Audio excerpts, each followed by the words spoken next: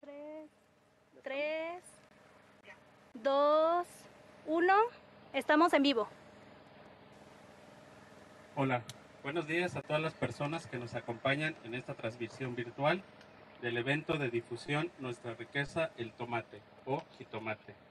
Su servidor, Marco Antonio Herrera, director en la Coordinación General de Agricultura, con el gusto de saludarles a todos ustedes. El día de hoy tenemos la oportunidad de transmitir parte del programa desde un invernadero que produce tomate en Huichila, en este hermoso estado de Morelos. Así que primero que nada quiero agradecer la, hospi- la hospitalidad de la señora María del Consuelo Rodríguez Virgen, quien hoy nos recibe y nos muestra su trabajo y el de sus compañeros de grupo. Muchas gracias, señora María del Consuelo.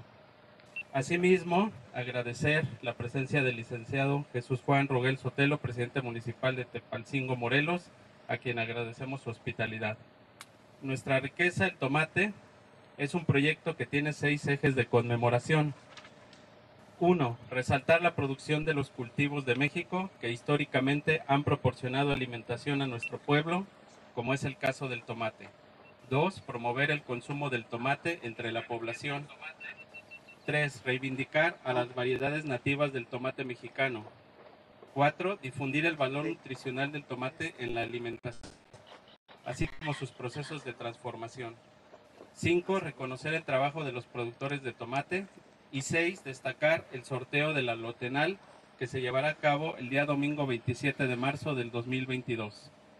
También quiero subrayar que este evento es posible gracias al trabajo conjunto de la Secretaría de Agricultura y Desarrollo Rural, la Coordinación de Memoria Histórica y Cultural de México, la Lotería Nacional para la Asistencia Pública y los productores y transformadores de la cadena productiva de tomate. A todos ellos nuestro reconocimiento. En esta ocasión hemos preparado dos paneles. El primero con la participación de los titulares de las diferentes dependencias anfitrionas. Y el segundo panel tendremos a diferentes especialistas de la academia, investigadores y productores de tomate, quienes nos compartirán interesantes ponencias. Así que, si me lo permiten, mencionaré a nuestros invitados. En primer lugar, la señora María Consuelo Rodríguez Virgen, productora de tomate de esta comunidad, que es hoy nuestra anfitriona. Muchas gracias, señora María del Consuelo. Lo acompaña el ingeniero Lucas Jaciel Alamán García, integrante también del grupo. Gracias, Lucas, por recibirnos. Nos acompaña también el titular de la Coordinación General de la Memoria Histórica y Cultural de México, Eduardo Villegas Mejías. Gracias, Eduardo la directora general de la Lotería Nacional para la Asistencia Pública, Margarita González Sarabia. Gracias, Margarita. Buenos días. El ingeniero Manuel Cázares Castro, en representación de Rosario Antonio Beltrán Ureta, presidente del Comité Nacional del Sistema Producto Tomate. Gracias, Manuel. La secretaria de Desarrollo Agropecuario del Estado de Morelos, Katia Isabel Herrera Quevedo. Muchas gracias, Marisa. Katia Isabel.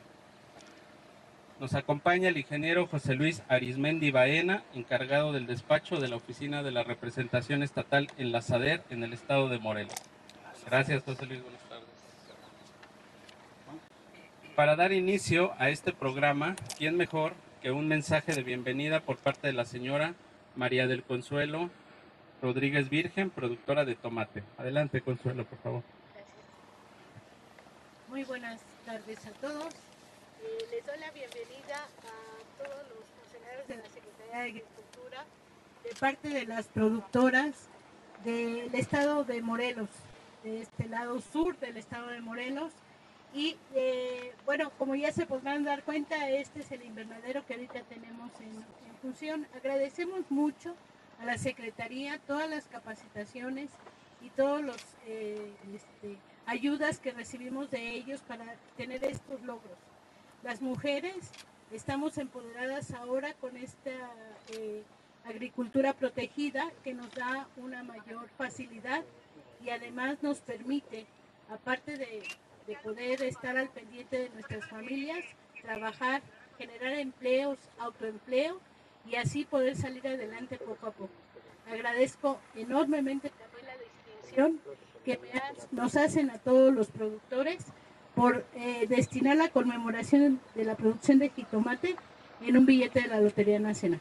Bienvenidos todos y muy buenas tardes.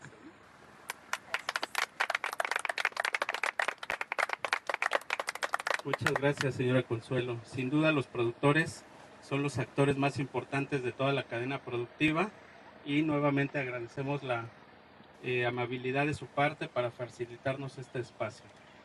En, segundo lugar, eh, voy a ceder el espacio a nuestro secretario de Agricultura y Desarrollo Rural, el doctor Víctor Villalobos, quien nos dará un mensaje de bienvenida. Adelante, secretario.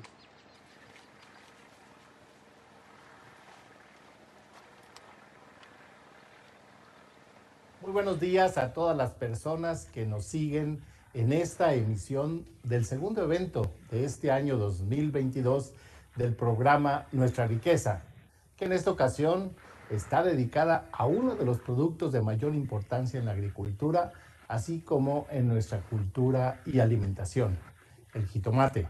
Tomate o tomate rojo, nombre que varía según la región del país y que usaré indistintamente en este mensaje.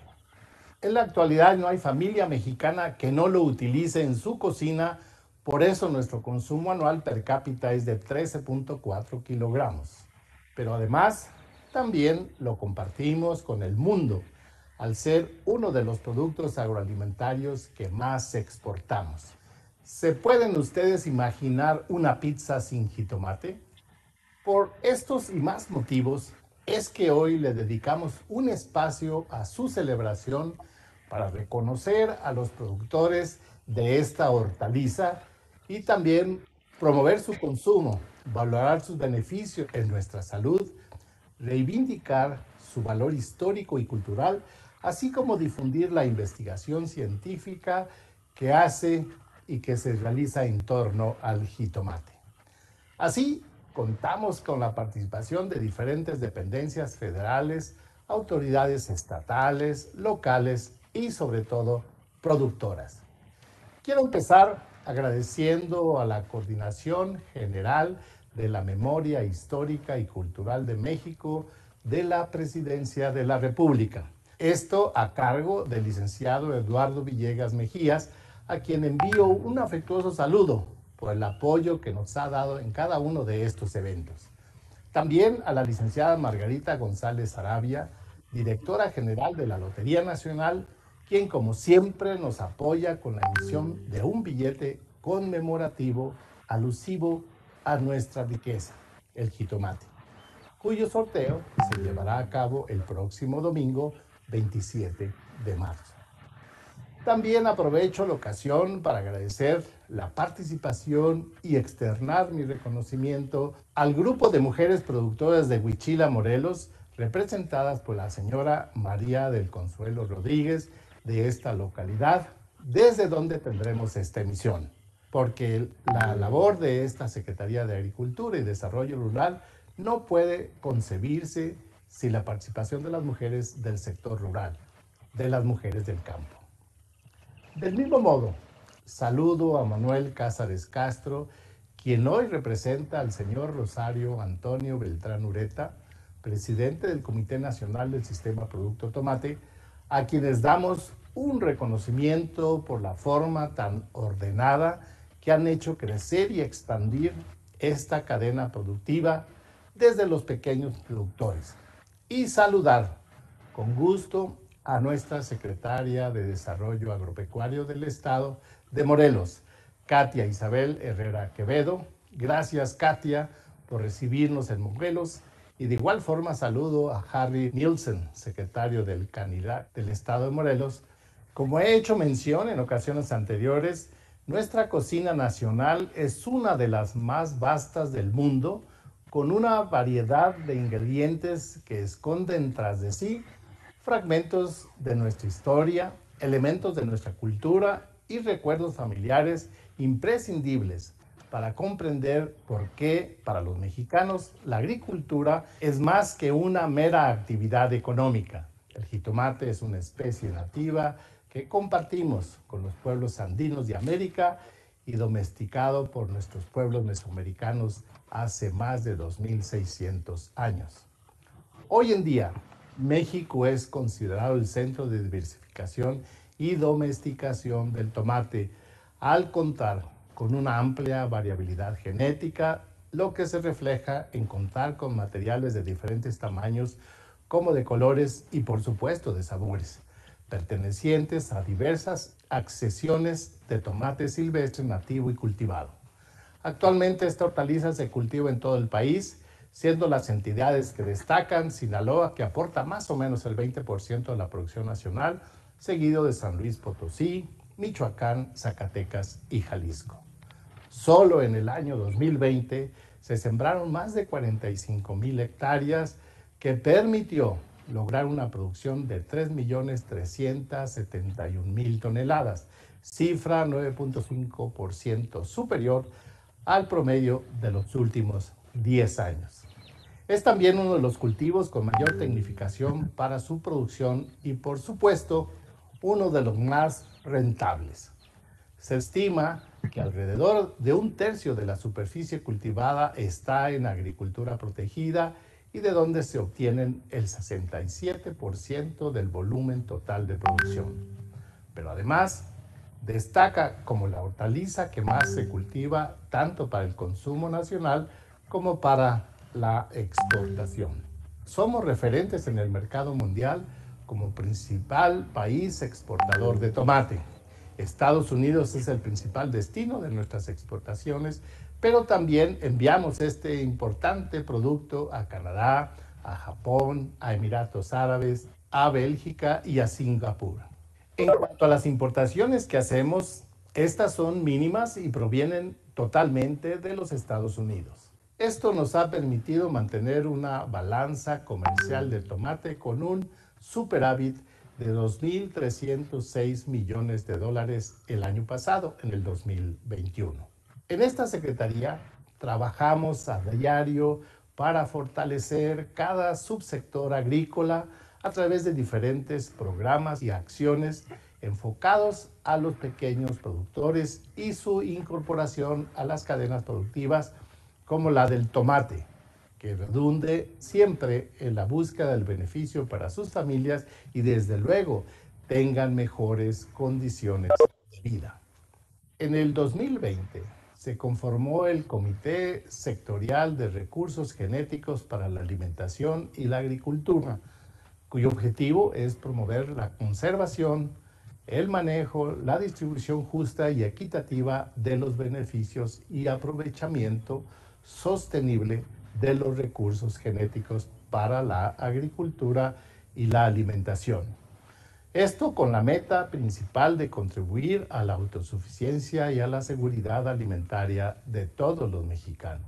Adicionalmente, se promueve la inversión de empresas hortícolas en proyectos que contemplan el uso eficiente del agua, variedades nativas, reconversión productiva, esquemas de aseguramiento, buenas prácticas agrícolas, integración de cadenas productivas, todas en pro de una agricultura sostenible. Finalmente, a nombre de la Secretaría de Agricultura y Desarrollo Rural, les agradezco profundamente a todos nuestros productores y productoras del jitomate por mantener e impulsar a este importante cultivo y a este importante alimento. Tenemos la certeza de que con el apoyo y la cooperación interinstitucional, así como mediante la vinculación con productores, seguiremos trabajando para lograr una agricultura sostenible e incluyente, promoviendo la conservación y aprovechamiento sustentable de nuestros recursos fitogenéticos, así como el consumo de alimentos nutritivos, sanos e inocuos al alcance de toda de toda nuestra población. Un abrazo fraterno a todas y a todos, así como a sus respectivas familias. Felicidades y enhorabuena. Muchas gracias.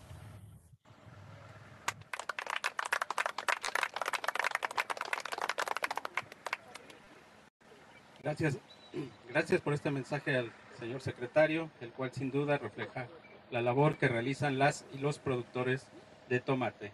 Seguimos transmitiendo en vivo desde un invernadero en el estado de Morelos y para platicarnos acerca del tomate como elemento de nuestra historia e identidad, cedo el espacio a Manuel Cázares Castro en representación de Rosario Antonio Beltrán Ureta, presidente del Comité Nacional del Sistema Producto Tomate. Adelante, Manuel. Sí, buenas tardes. Pues muchas gracias. Es un honor para mí, para todos los productores del país, este evento. Muchas gracias, señor secretario. Reciba un, un saludo de nuestro presidente nacional, el ingeniero Rosario Antonio Beltrán, que pues estuviera aquí, lamentablemente pues tiene un, un tema de salud, pero él como si estuviera aquí con nosotros. Quiero agradecer aquí a todos los compañeros que de alguna manera u otra lograron hacer también este evento para un reconocimiento para todos los productores del, del país. Y la verdad no la creemos. Estamos de manteles largos, créanme, y todos, todos los productores del país que el sistema Producto Tomate, tenemos que somos 16 estados que estamos afiliados a, a, a, este, lo que es el sistema Producto Tomate. Quiero comentarles, pues el señor secretario fue muy amplio y dio datos muy importantes que efectivamente la importancia que tiene lo que tiene el tomate. ¿Quién no come un tomate? En donde quiera que vayas del mundo, hay el, el tomate, el tomate está ahí. Quiero decirles que orgullosamente les podemos decir que eh, nuestro tomate de México tiene una calidad, una sanidad reconocida a nivel mundial. Pero eso no se logra nada más as- así. Hemos venido luchando, hemos venido trabajando con variedades, hemos trabajado con las universidades y, y déjenme decirlo, no pudiéramos tener lo que tenemos ahorita si no fuera verdaderamente que hemos venido trabajando de la mano. Y llámese SADER, que es donde hemos nosotros tenemos los apoyos para lograr llevar a los productores más pequeños, llevarle la capacitación, la organización y sobre todo todo tema de, de, de inocuidad, responsabilidad social y cambio climático. Eso es muy importante. No queremos que nadie se sienta peor de los productores. Ahí me decía un compañero de Chiapas, yo para qué entro al sistema producto, porque veo Sinaloa, todo eso, pero es que somos muy pequeños, tenemos eh, mil metros, mil quinientos metros, pero son 30 mil productores, los juntas todo está más grande que, que Sonora, Sinaloa. Entonces, yo creo que este, lo que estamos haciendo a través del sistema Producto Tomate, llevar lo que nos apoya SADER, decirles que la SADER está eh, eh, preocupados por los productores y que queremos que los productores pequeños se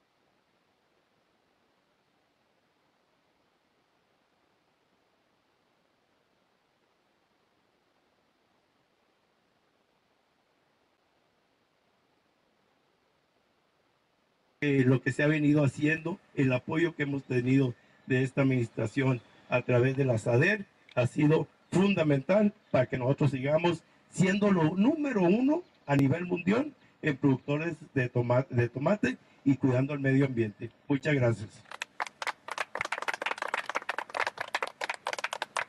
Gracias al ingeniero Manuel Cázares. Agradecemos la participación del Comité Nacional Sistema Producto Tomate.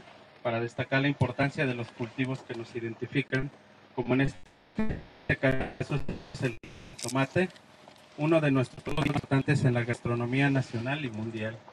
Y a continuación, quiero pedirle a Margarita González Arabia, directora general de la Lotería Nacional, que nos comparta también un mensaje. Por favor, Margarita.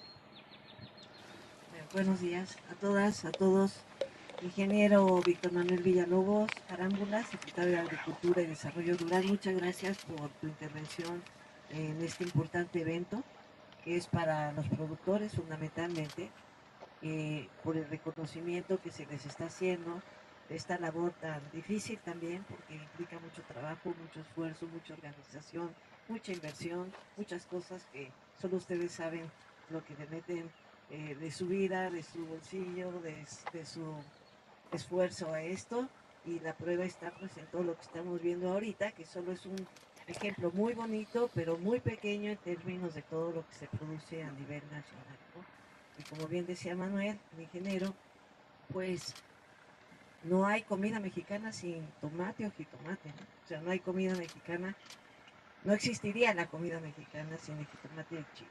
Porque jitomate, chile y cebolla con eso. Y una buena tortilla ya la hicimos, ¿verdad?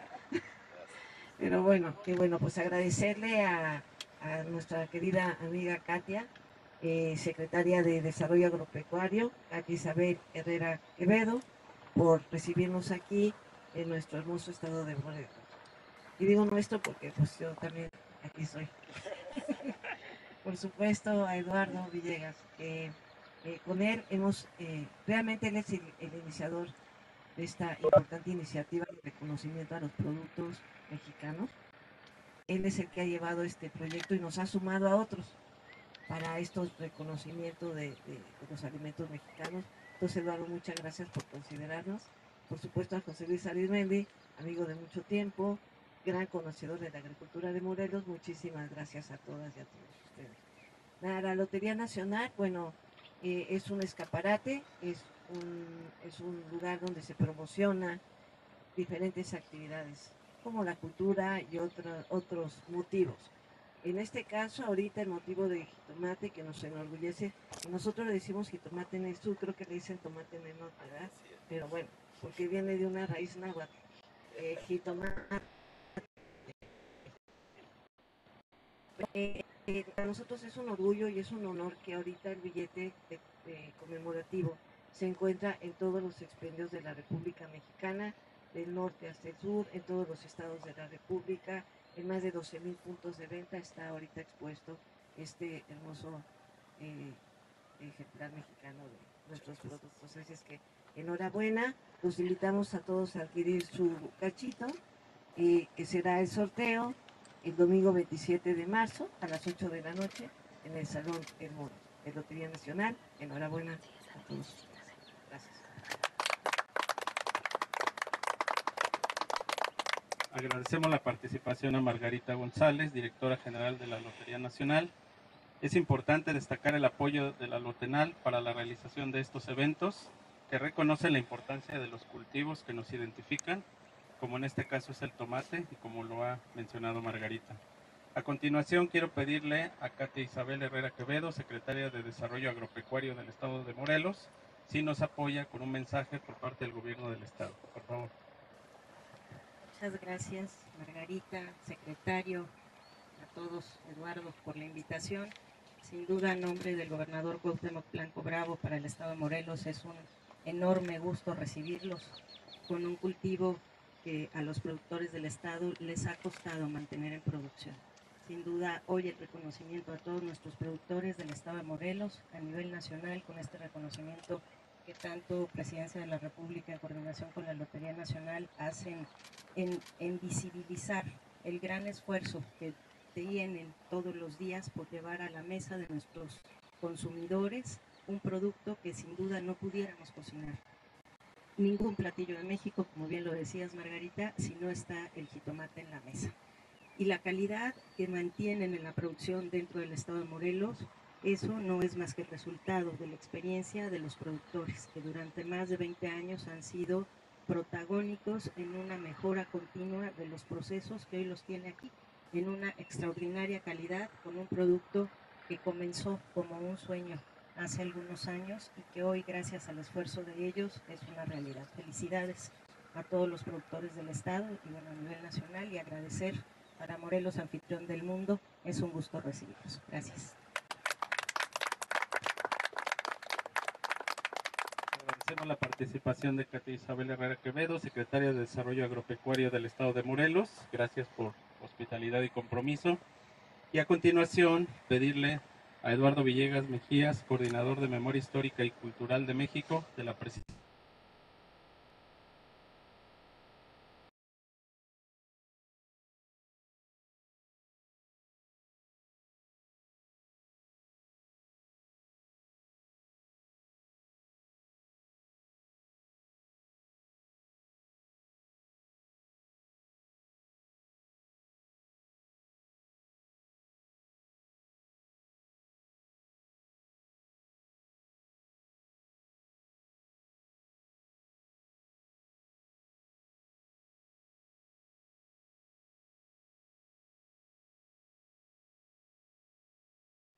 En este extraordinario invernadero del cual ya Manuel nos ha hecho algunas observaciones técnicas respecto de su, de su calidad.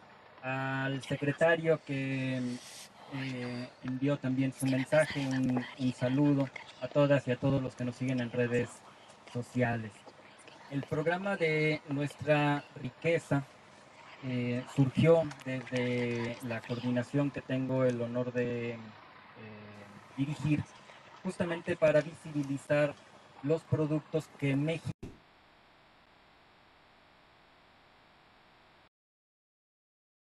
por el frijol, por la calabaza, y bueno, ya no me sigo con tantos otros, porque hasta hambre nos va a dar. Y uno de ellos que era imprescindible para México, para el mundo, es justamente el que nos convoca el día de hoy, que es el jitomate.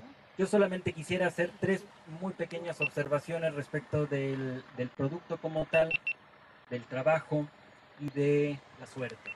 Respecto del producto, el jitomate, ya se ha hablado aquí eh, incluso del valor nutrimental que, que tiene en el sentido de aportes a vitamina, a vitamina C, a vitamina K, a magnesio, a potasio y a tantos otros nutrientes que se tienen precisamente en una sana alimentación eh, preferentemente no industrializada.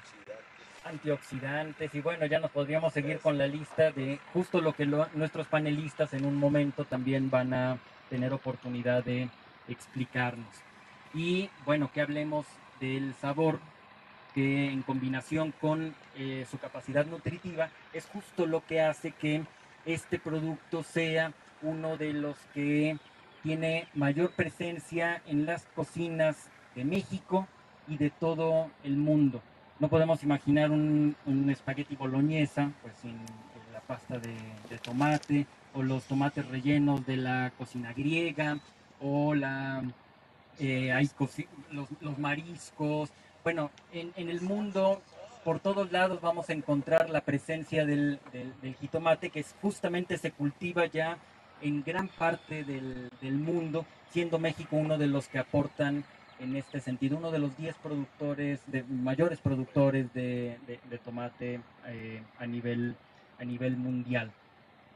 Y esto en cuanto al, al producto, lo que eh, nos lleva como una discusión que teníamos antes de iniciar, era el, el nombre, ahí dice Sistema Producto Tomate, SPT, que, que Manuel viene aquí representando, y que en el centro de la República le llamamos jitomate, eh, para distinguirlo del tomate, que para nosotros es el que eh, es el tomate verde, ¿no?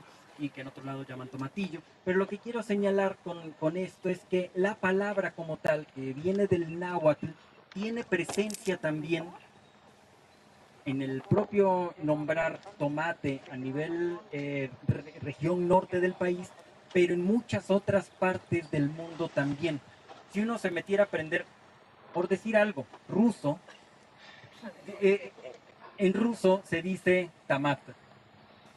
Entonces vamos a encontrar lo mismo en, muchas otras eh, lenguas del mundo, esta presencia del náhuatl de la región centro de México como el modo para nombrar este maravilloso, extraordinario producto.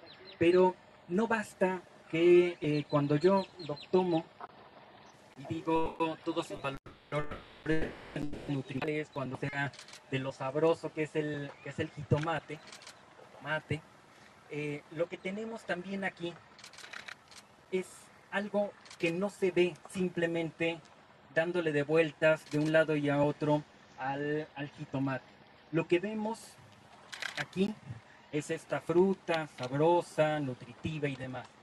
Pero si uno se sienta a pensar en el jitomate, encontrará que en él también se encuentra todo un mundo detrás. Lo que nos rodea no es natural. Sí, requiere eh, sol y agua y demás eh, elementos de la naturaleza, pero no es simplemente natural. Para que esto se llegue hasta nuestras mesas requiere un enorme esfuerzo, un enorme trabajo. Yendo de adelante hacia atrás, pensamos en las personas que comercializan, en los eh, que venden en los mercados, pero también hacia atrás vemos hacia las personas que manejan los camiones, las que los empacaron. Y por supuesto, vamos a llegar hasta el núcleo de todo, que son precisamente nuestras productoras, nuestras productores, a quienes debemos estar infinitamente agradecidos por darnos en nuestra cocina el jitomate. A las mujeres y a los hombres que lo hacen posible, de veras, muchas, muchas gracias. Y por supuesto, también puede uno observar esto em, como producto de un trabajo y puede analizar la migración internacional, porque buena parte de nuestros em, mexicanos, mexicanas, con nacionales que trabajan en, en algunas partes de Estados Unidos, lo hacen agachados, como aquí se ve en el vivero, recogiendo también este extraordinario fruto. Por eso es que buscamos desde la Coordinación de Memoria Histórica y Cultural de México, de la Presidencia de la República, resaltarlo. Y lo hemos estado haciendo con la Secretaría de Agricultura, que muy amablemente está haciendo justo esta transmisión.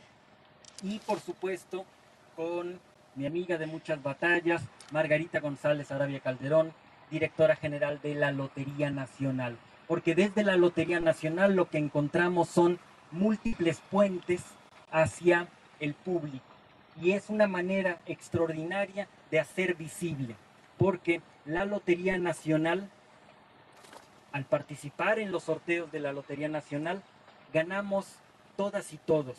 Gana, por supuesto, quien se lleva el premio mayor, quien se lleva un segundo lugar, quien se lleva reintegro, todas estas personas ganan. Pero gana también quien a través de eh, la lotería participa de manera indirecta, como las personas que venden, otra vez las manos que eh, en este caso nos llevan los billetes.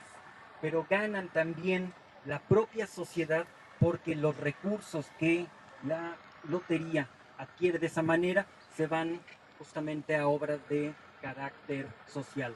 Ya no diré cuáles porque estamos en veda electoral, pero son importantísimas, son fundamentales. Por eso celebro que el día de hoy podamos desde eh, Morelos, desde Hui- Huichila, Huichila, desde Huichila, en Morelos, venir a celebrar el tomate, o como decimos aquí en el centro de la República, al jitomate. Enhorabuena a todas y a todos. Muchas gracias Eduardo, coordinador de Memoria Histórica y Cultural de México. Sin duda todo este bagaje productivo, social y alimentario debe ser resguardado como parte de la memoria histórica y cultural de nuestro querido país. Como parte de la coordinación interinstitucional, en esta ocasión la Lotería Nacional para la Asistencia Pública nos ha honrado con la emisión de un billete de la lotería alusivo al tomate, el cual será develado por la directora general de la Lotenal en compañía de los invitados.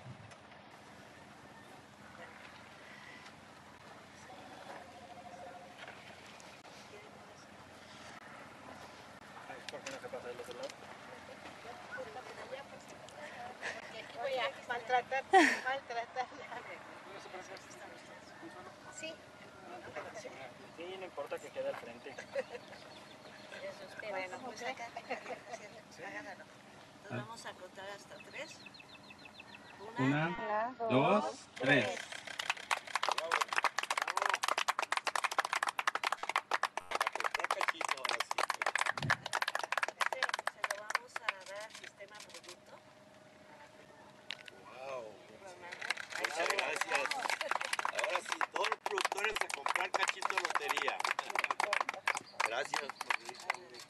Gracias a la Lotería Nacional porque a través de estos billetes conmemorativos plasman nuestra riqueza.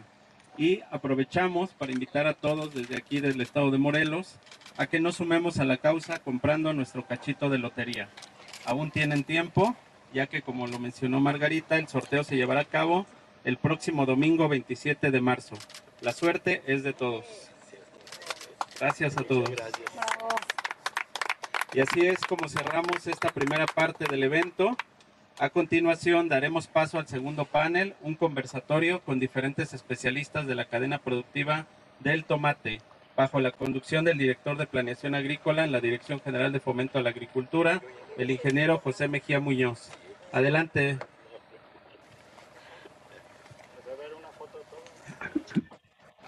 Buenas tardes, tengan todos ustedes. Sean bienvenidos a esta segunda parte del evento Nuestra riqueza, el jitomate, que ha sido organizado por la Coordinación de Memoria Histórica y Cultural de la Presidencia de la República, en coordinación con la Lotería Nacional y la Secretaría de Agricultura y Desarrollo Rural. Estos eventos de nuestra riqueza se han venido desarrollando de- desde hace un par de años con el propós- propósito de resaltar la riqueza de los recursos fitogenéticos de nuestro país, particularmente aquellos cultivos que son emblemáticos de nuestra patria y que hoy son conocidos ampliamente en todo el mundo. Previamente se han, eh, se han emitido boletos alusivos con el apoyo de la Lotería Nacional que han dado cuenta de la riqueza del cacao, del aguacate, de la nochebuena y de otros cultivos importantes que hoy, como les comentó, son ya una parte referente en, el- todo el mundo. Agradecemos a nuestros eh, distinguidos ponentes en esta segunda etapa, al, doctor Eduardo Rodríguez Guzmán de la Universidad de Guadalajara, al doctor Juan Enrique Rodríguez Pérez de la Universidad Autónoma Chapingo, al doctor Leovigildo Córdoba Telles, director general del SNICS, al doctor Enrique González Pérez, campo experimental Bajío del INIFAP, a la doctora Laura Josefina Pérez Flores, a la cocinera tradicional Nora Lorena Estrada González, y desde luego a la ingeniero en horticultura Magnolia Lugo Trinidad, quien eh, será la primera en abordar este, tema, este conversatorio académico de jitomate. Pregunto si ya está, eh, ya está en contacto este, eh, Sí, estamos en contacto, gracias. Muy bien, gracias. Magnolia, eh, ella es eh, facilitadora del Comité Nacional Sistema Producto Tomate. Agradecemos su disposición. Ella es ingeniero en horticultura, tiene amplia experiencia en este tema y le hemos, eh, agradecemos su disposición para participar con esta primera ponencia que se tu- titula La producción de tomate en México. Bienvenida. Adelante, este, Magnolia. Muchas gracias de antemano. Les comento que estamos en campo, estamos en Huichila por si hubiera alguna falla, pero vamos a intentar que todo salga conforme lo tienen planeado. El tema eh, que me corresponde es la producción de tomate en México y aunque de alguna manera hay datos que ya se mencionaron, pues vamos a, hacer la presentación tal cual la habíamos preparado. La siguiente, por favor. El tomate pertenece a la familia de las solanáceas, eh, de la especie Helicopersicum esculentum. Eh, el tomate rojo o jitomate, como le decimos en el centro, es una de las hortalizas más difundidas en nuestro país y, e igual que, los datos que tenemos es que desde los aztecas empezó a domesticar, aunque su origen del tomate silvestre viene desde Colombia hasta Chile, eh, pero son los aztecas quienes los eh, inician, inician su domesticación y efectivamente hoy no podemos pensar en muchas cocinas del mundo sin el tomate o jitomate rojo. Según el CIAP, esta hortaliza se, se cultiva en todos los estados del país. Eh, No hay un estado que no reporte superficie cultivada. Para el 2020 el tomate es el sexto, la sexta hortaliza eh, en su, por su contribución al valor de la producción primaria. Eh, solo se encuentra después del maíz, del aguacate, de la caña de azúcar, el chile verde y el agave. La siguiente, por favor. Aquí nada más para dar el contexto internacional, este, tenemos el tema de que Estados Unidos es el, es el país que más importa tomate en el mundo, seguido de Alemania, Francia y Rusia. Y también mencionaremos que México es el principal exportador, eh, le siguen los Países Bajos, España y Marruecos. Eso nada más para ubicar un poquito el contexto internacional. La siguiente, por favor. En México, eh, según datos del CIAP, se sembraron más de 45 mil hectáreas, mismas que se cosecharon. Eh, se produjeron 3.370.690 toneladas y con un rendimiento promedio de 74.6 toneladas por hectárea.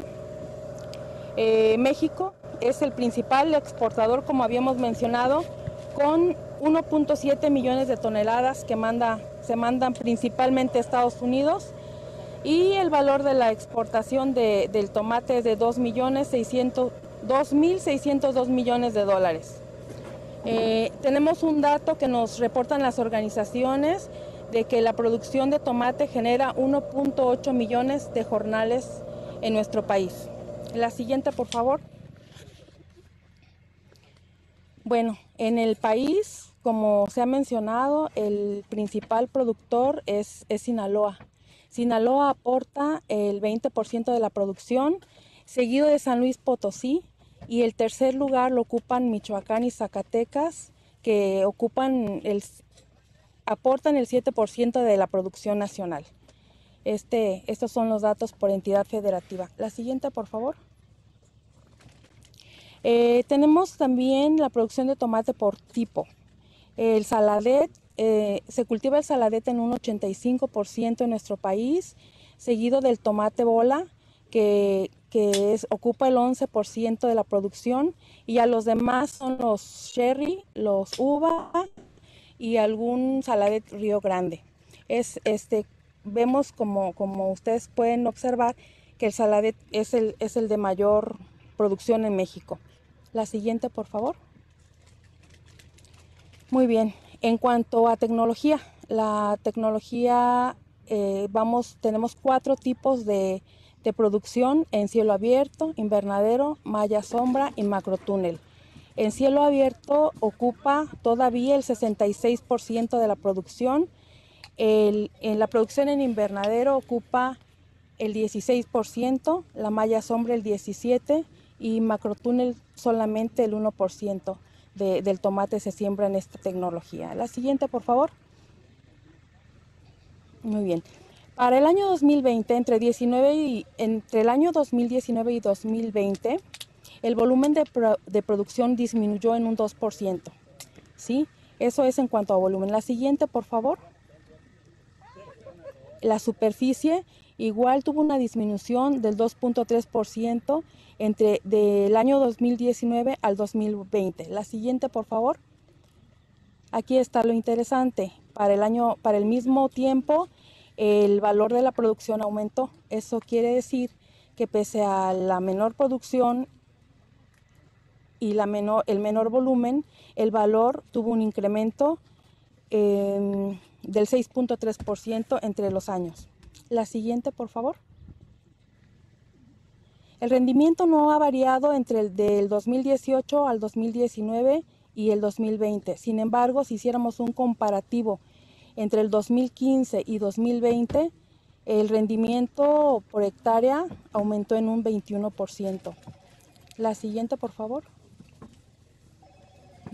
Bueno, todos los números uh, que hemos dicho, eh, la importancia que tiene el tomate porque es el, México es el principal exportador, eh, no, no, tendría cabida sin la organización.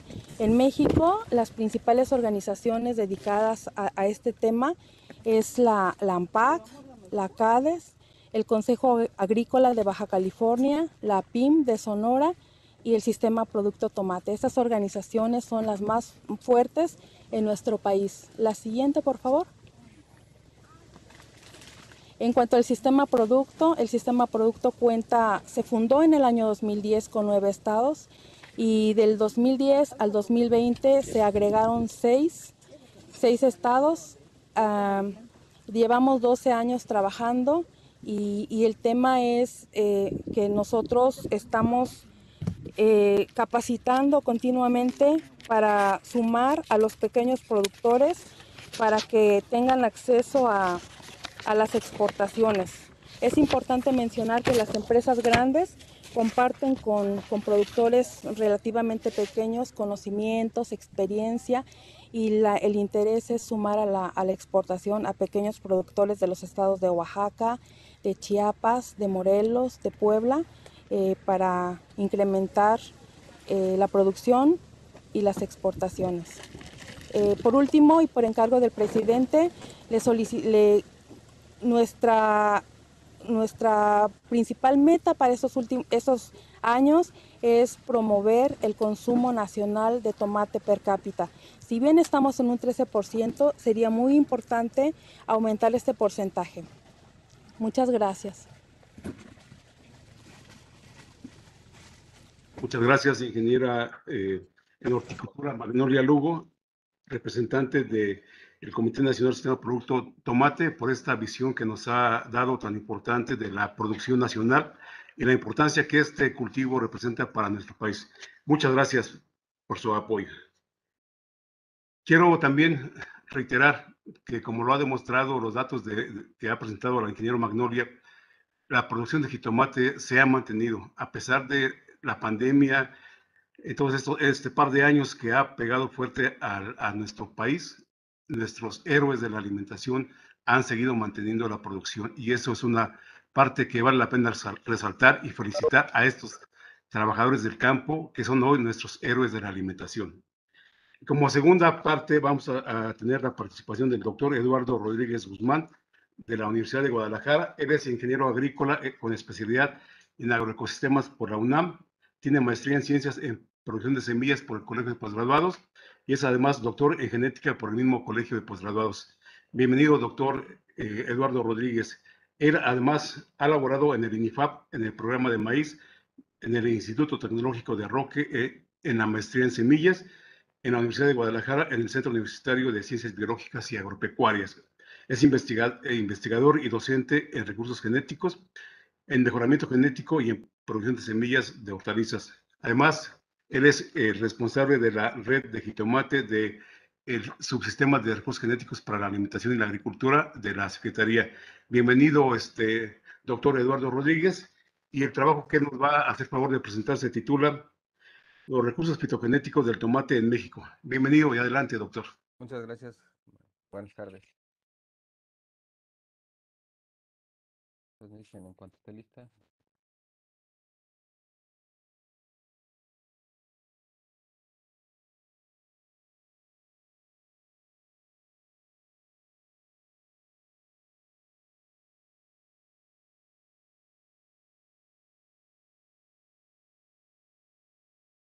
Eh, en un momento nos presenta la, la, la presentación. Este. Sí, gracias. Un momentito, por favor. Sí, está bien.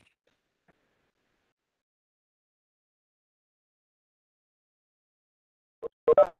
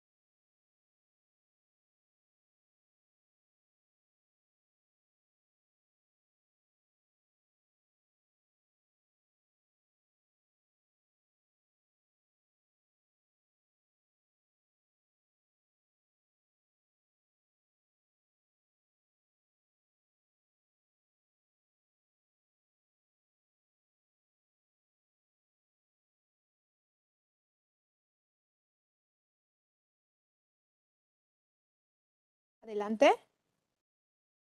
Gracias. Eh, no veo la presentación, disculpe. ¿Qué presentación es? Los recursos fitogenéticos de jitomate en México.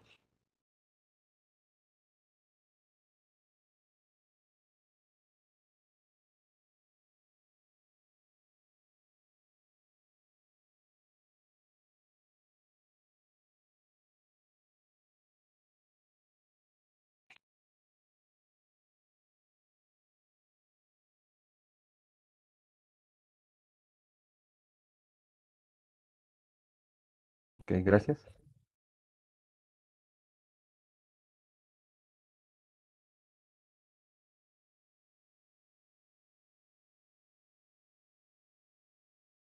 Ok, buenas tardes.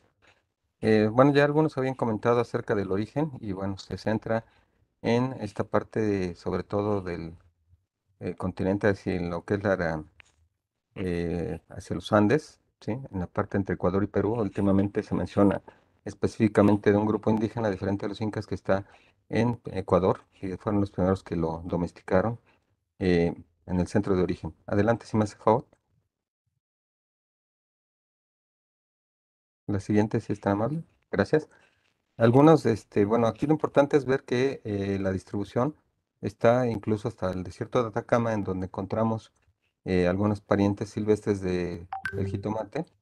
Eh, la diferencia, acuérdense que ya se clasificó, se reclasificó como Solanum también, ¿sí? En la sección Lycopersicum, y aquí aparecen algunos de los grupos que se hicieron. Este es un trabajo de una co- compañera que hizo este, está haciendo el doctorado, en donde podemos ver pues eh, los tipos de climas principales en los que se ha presentado esta, estas parientes silvestres, ¿sí? Y que es parte de la riqueza de lo que es este, los recursos genéticos para el mejoramiento genético, ¿sí? Y el aprovechamiento de esta especie. Adelante, si me hace favor. Y ya refiriéndonos a la domesticación, aquí vemos una imagen de la comparación entre lo que es el silvestre y alguno cultivado, ¿sí? Adelante. Eh, como les decía, eh, las hipótesis de domesticación hay varias. Este, la primera que se manejaba desde Jenkins, Rick Fox, Riggs y X Esquinas y Alcázar, ¿sí? Es que eh, el origen era entre Veracruz, ahí por la zona del Totonacapan, y Puebla, ¿sí? En donde aún persiste también en forma silvestre, pero vamos a encontrar que también Peralta y Spooner lo mencionan que es en Perú y Ecuador, allá en la zona de los Andes, y hay otras este, que aportan a que son ambas regiones, incluso hay un proceso de domesticación o redomesticación que se menciona allá para eh, Europa. Sí, adelante, por favor. Y bueno, eh, básicamente vemos que desde la zona de origen se trajo a través de Centroamérica hacia Mesoamérica y de Mesoamérica con la conquista de los españoles se distribuyó hacia el resto del mundo. Aquí vemos en este dendrograma, ¿sí? que habla de las especies eh, en su composición eh, como de fruto pequeño y de fruto grande. Y bueno, los cultivares mexicanos fueron los que se mencionaba que se distribuyeron hacia Europa y después regresaron hacia América nuevamente, en donde se hizo muy popular su producción, ¿sí? En los Estados Unidos, y de ahí eh, se universalizó pues la producción a todo el mundo. Adelante, por favor. Ya con las formas cultivadas, pero acuérdense aquí que ya mencionaban desde los españoles, en particular Fray Bernardino de Sagún, que provenientes del estado de Morelos, había plantas que se, o, frutos más bien, perdón, con ciertos nombres este, relacionados, como decían, con el náhuatl, como citomatl y cuacitomatl, ¿sí? Y chichicoatzitlomatl, eh, que daban ciertas características diferentes a la variabilidad que ya existía en ese momento, ¿sí? Y para estas eh, siglo XVI encontramos que se producía en Tehuacán y Coatlalpan en Puebla, Miahuatlán en Oaxaca y Michoacán. Adelante, por favor. Y bueno, actualmente, y estoy hablando todavía del siglo XX, pues ya se relaciona con algunos números. El origen ya lo mencionaban que era como Shitley, ¿sí? Eh, ahí por ahí recibí una corrección en alguna publicación que hicimos, que también se le puede llamar como Shi y tomate, eh, como tomate pelado o como ombligo del tomate. Son las dos acepciones que le mencionan.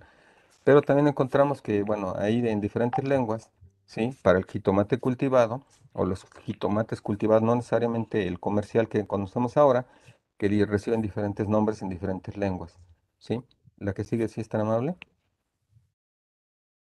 Y también para la planta ceraciforme, bueno, encontramos algunos nombres este, en náhuatl también en diferentes este, lenguas que también hacen referencia de esta planta que es relacionada como silvestre, sí, pero que también está asociada pues a las poblaciones humanas. Y actualmente eh, no están todos los nombres listados que pueda tener, pero existen diferentes este, excepciones de acuerdo a la región, ¿sí? Y dependiendo de algunas características que presenten los frutos, que van a llamarse de diferente manera de acuerdo a, la región en donde estemos. Y, por ejemplo, ojo de liebre es un eh, jitomate o un tomatillo más pequeño, ¿sí? El tomate venado, ojo de venado, también es un jitomate de un poquito más grande, lo que consideramos como cherries de dos y media más o menos, ¿sí? Dos y medio centímetros. Y bueno, ya en cada región varía el nombre con que se le asigna se le conoce en esa región. Adelante, por favor. Y, por ejemplo, hay el nombre o la excepción en Purépecha también que se le da como Tinguaraque, ¿sí? Y hay una, incluso una comunidad cercana ahí del sur de Jalisco y el, la parte de Michoacán que colinda, en donde incluso una comunidad se llama Tinguaraque. Y lo que vamos a encontrar, pues, es de que ya se refiere, la misma gente lo conoce, lo degusta, es uno de los productos preferentes en cuanto a al sabor de la salsa. Adelante, por favor. ¿Sí? en donde vamos a encontrar pues como, como, como comida pura pechada con sabor y tradición, en una salsa de molcajete, por ejemplo, con diferentes eh, combinaciones, ¿sí? diferentes chiles que se pueden este, preparar. ¿sí? Aquí en el caso estamos viendo de los eh, tomates asados y podemos ver que hay diferencias en, los colores de origen. Hay desde amarillos, anaranjados, eh, rojo, naranja, rojo, cereza. Hay diferentes características con que los encontramos de manera silvestre. Adelante, por favor.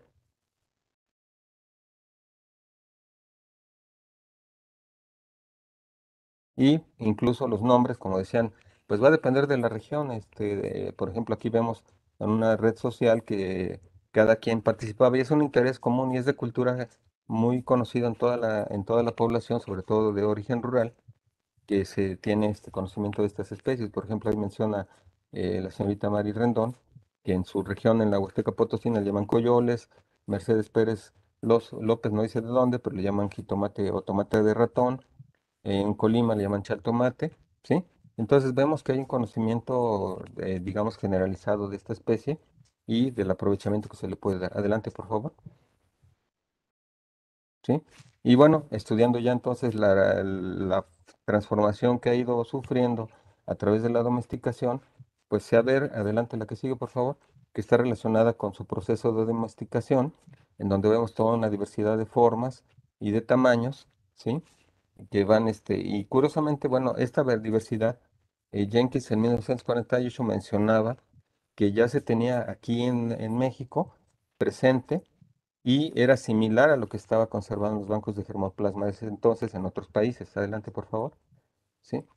Y de eso lo hago por resaltar, bueno, vemos hay diversidad de tamaños, hay diversidad de formas, hay diversidad de colores, ¿sí? La que sigue, si es tan amable. Y bueno, lo que sí tiene que ver aquí importante es, eh, estos ya son estudios del año pasado, ¿sí? reportados el año pasado, en donde vemos que, eh, como les decía, el lugar de origen se le relacionaba ahí por Ecuador como una especie silvestre que es transferida o llevada hacia Mesoamérica, ¿sí? en donde también sufre un cambio y se cambia de esos, eh, a Solanum lycopersicum lycopersicum, que ahora se dice que lo que está distribuido en México como aparentemente cerasiforme parece ser más bien la forma de Lycopersicum, el silvestre con fruto pequeño. Pero a toda esta diversidad se le suma también la que esa diversificación que ya está en México de los frutos de tamaño grande, ¿sí? Y digo, está en México desde antes de la época precolombina. Adelante, por favor. Y bueno, vemos en, en, cuanto a conservación in situ, la que sigue si es tan amable, que los, eh, hay varios este, reportes. La siguiente transparencia si está mal en cuanto pueda en donde se habla sobre todo de la parte sureste, que hay gente que todavía la cultiva, estamos hablando de Veracruz, Oaxaca, Tabasco, Chiapas, Guerrero, em, algo de la península de Yucatán, por ahí por Quintana Roo, ¿sí? En donde se habla, se hace referencia de que hay esa, ese conocimiento, además esa conservación por parte de, de los agricultores, ¿sí? En donde, eh, no sé si ya puedan pasar la siguiente. Gracias. Como les decía ahí, por ejemplo, en la Frailesca en Chiapas, en Juchitán de Zaragoza, Oaxaca, en la Sierra Norte y Tuxtepec en Oaxaca, ¿sí? Eh, en los valles centrales de Oaxaca. Y eh, bueno, hay una serie de nombres, como les decía, que ya tienen asociados con las, con las plantas, ¿sí? Con el ceraciforme, con el esculentum, como se manejaba antes, ¿sí?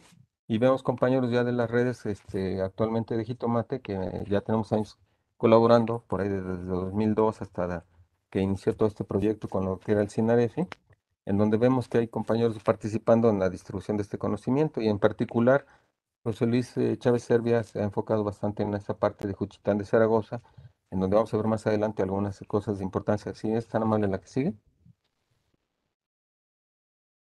Bueno, pero de los principales riesgos que encontramos, sí, es una planta cosmopolita que se ha adaptado a todas las zonas tropicales y subtropicales del mundo, ¿sí? pero las principales amenazas, una es la recolección indiscriminada de sus frutos, que lamentablemente muchas veces arrancan planta completa, ¿sí? Y este, piscan, como dice uno, las frutas, ¿sí? Y la otra es que también en la agricultura comercial, por el uso de los herbicidas sobre todo, pues se tiende a eliminar de las parcelas porque se les considera vectores de enfermedades, ¿sí? La otra es que las variedades principalmente son este, introducidas, las variedades comerciales, y la falta de documentación de las especies. Eh, había, era, es curioso, perdón, que a pesar de ser uno de los cultivos importantes, en los herbarios no está suficientemente documentado. Se, se le daba pues la idea de que la diversidad estaba en Sudamérica por ser centro de origen, pero en realidad somos centro de diversidad.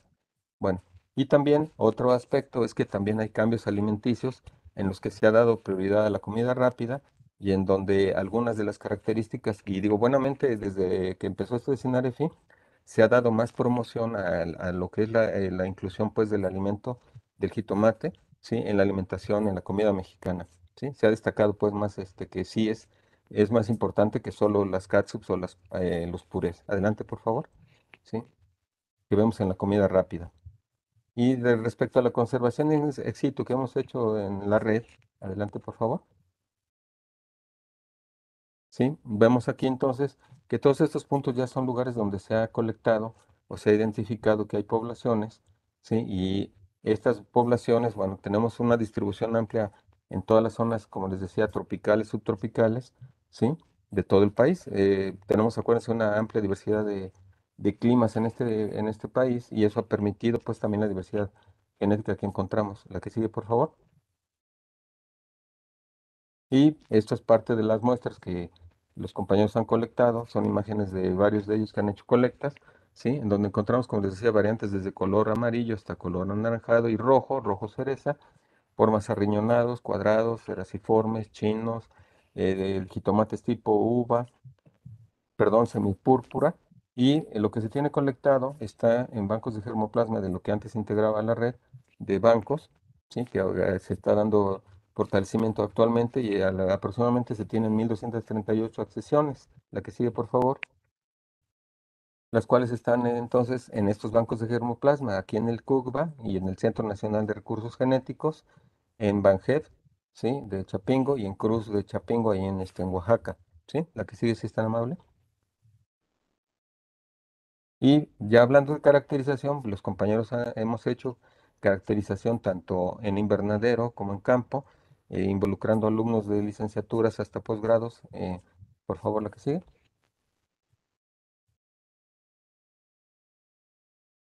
Y bueno, como les decía, caracterización tanto en invernaderos como en campo, y identificando diferentes este, situaciones con, estas plantas. Adelante, por favor. Como en el caso del doctor eh, Pedro Sánchez, que hizo evaluaciones con respecto a mosquita blanca y comparativamente con el, el cultivo o las variedades cultivadas, pues es menos atractiva para la mosquita blanca, la incidencia fue menor, ¿sí? Lo que da idea, pues, de que podemos este, implementar mejoramiento genético hacia esta, esta, esta plaga, ¿sí? La que sigue, por favor, es una de las más importantes en cuanto a transmisión de virus en, las- en las- en los cultivos de jitomate otros compañeros que han hecho eh, híbridos convencionales este, combinados con materiales nativos y en donde podemos ver que hay diversidad en cuanto a las formas de frutos, ¿sí? Y ya, eh, ya tienen por ahí, este, entiendo, algunos de ellos una variedad este, comercial o cerca de estar este, disponible para los agricultores en la región de Oaxaca. Adelante, por favor. ¿Sí?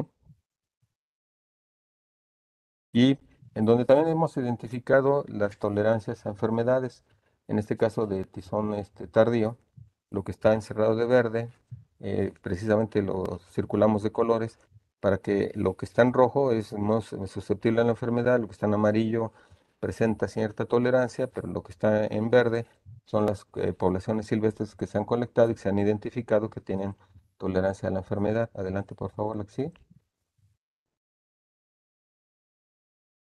Y en donde vemos que aparte de, tolerancia a la enfermedad que está en este cuadro que está a la derecha, donde vemos gradiente de color, vemos los materiales comerciales, Verónica, Express, SB041, susceptibles a la enfermedad, por eso están en color rojo, mientras que vemos que de este LA2533, que es un material reportado ya eh, originario de, de Perú, que tiene tolerancia a la enfermedad o resistencia a la enfermedad, y vemos que entre los materiales colectados todavía hay mejor comportamiento en algunas de las poblaciones, pero además presentan precocidad, por ejemplo, presentan este mayor este número de flores, mayor número de frutos por racimo y mayor contenido este o mayor nivel de grados BRICS, lo que quiere decir que han sido conservadas también porque sus características organolépticas son adecuadas para la población.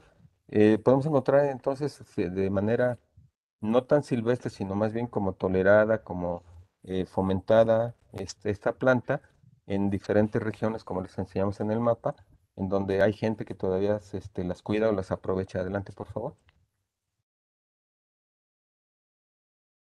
Y algunos de, lo- de los avances que se han tenido en cuanto a la utilización, por favor, de los recursos genéticos en el mejoramiento genético. Bueno, aquí hay una cosa que, que que es importante, el conocimiento etnomedicinal, en este caso etnobotánico, nos lleva a que puede ser antiséptico, pectoral, ayuda a la gripe y la tos, evita este, o ayuda con las anemias, el reumatismo, etcétera.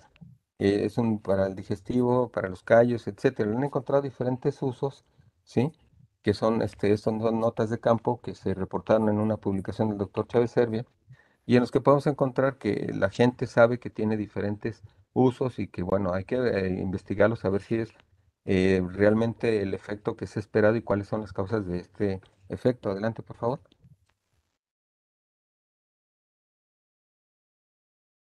Y encontramos que hay reportes ya clínicos en donde se habla de prevención del cáncer de próstata, incluso curación, eh, prevención de enfermedades de tipo vascular, que se incrementa la presencia de vitamina C y antioxidantes. eh, perdón por lo que no se alcanza a ver ahí, pero los resultados muestran que el licopeno inhibió el crecimiento de las células cancerosas en endometrio, mama y pulmón, ¿sí? Y que tuvo efectos eh, mejores que el alfa y el beta caroteno. Fue más efectivo entonces el licopeno para inhibir el crecimiento de cáncer, ¿sí? Adelante, por favor.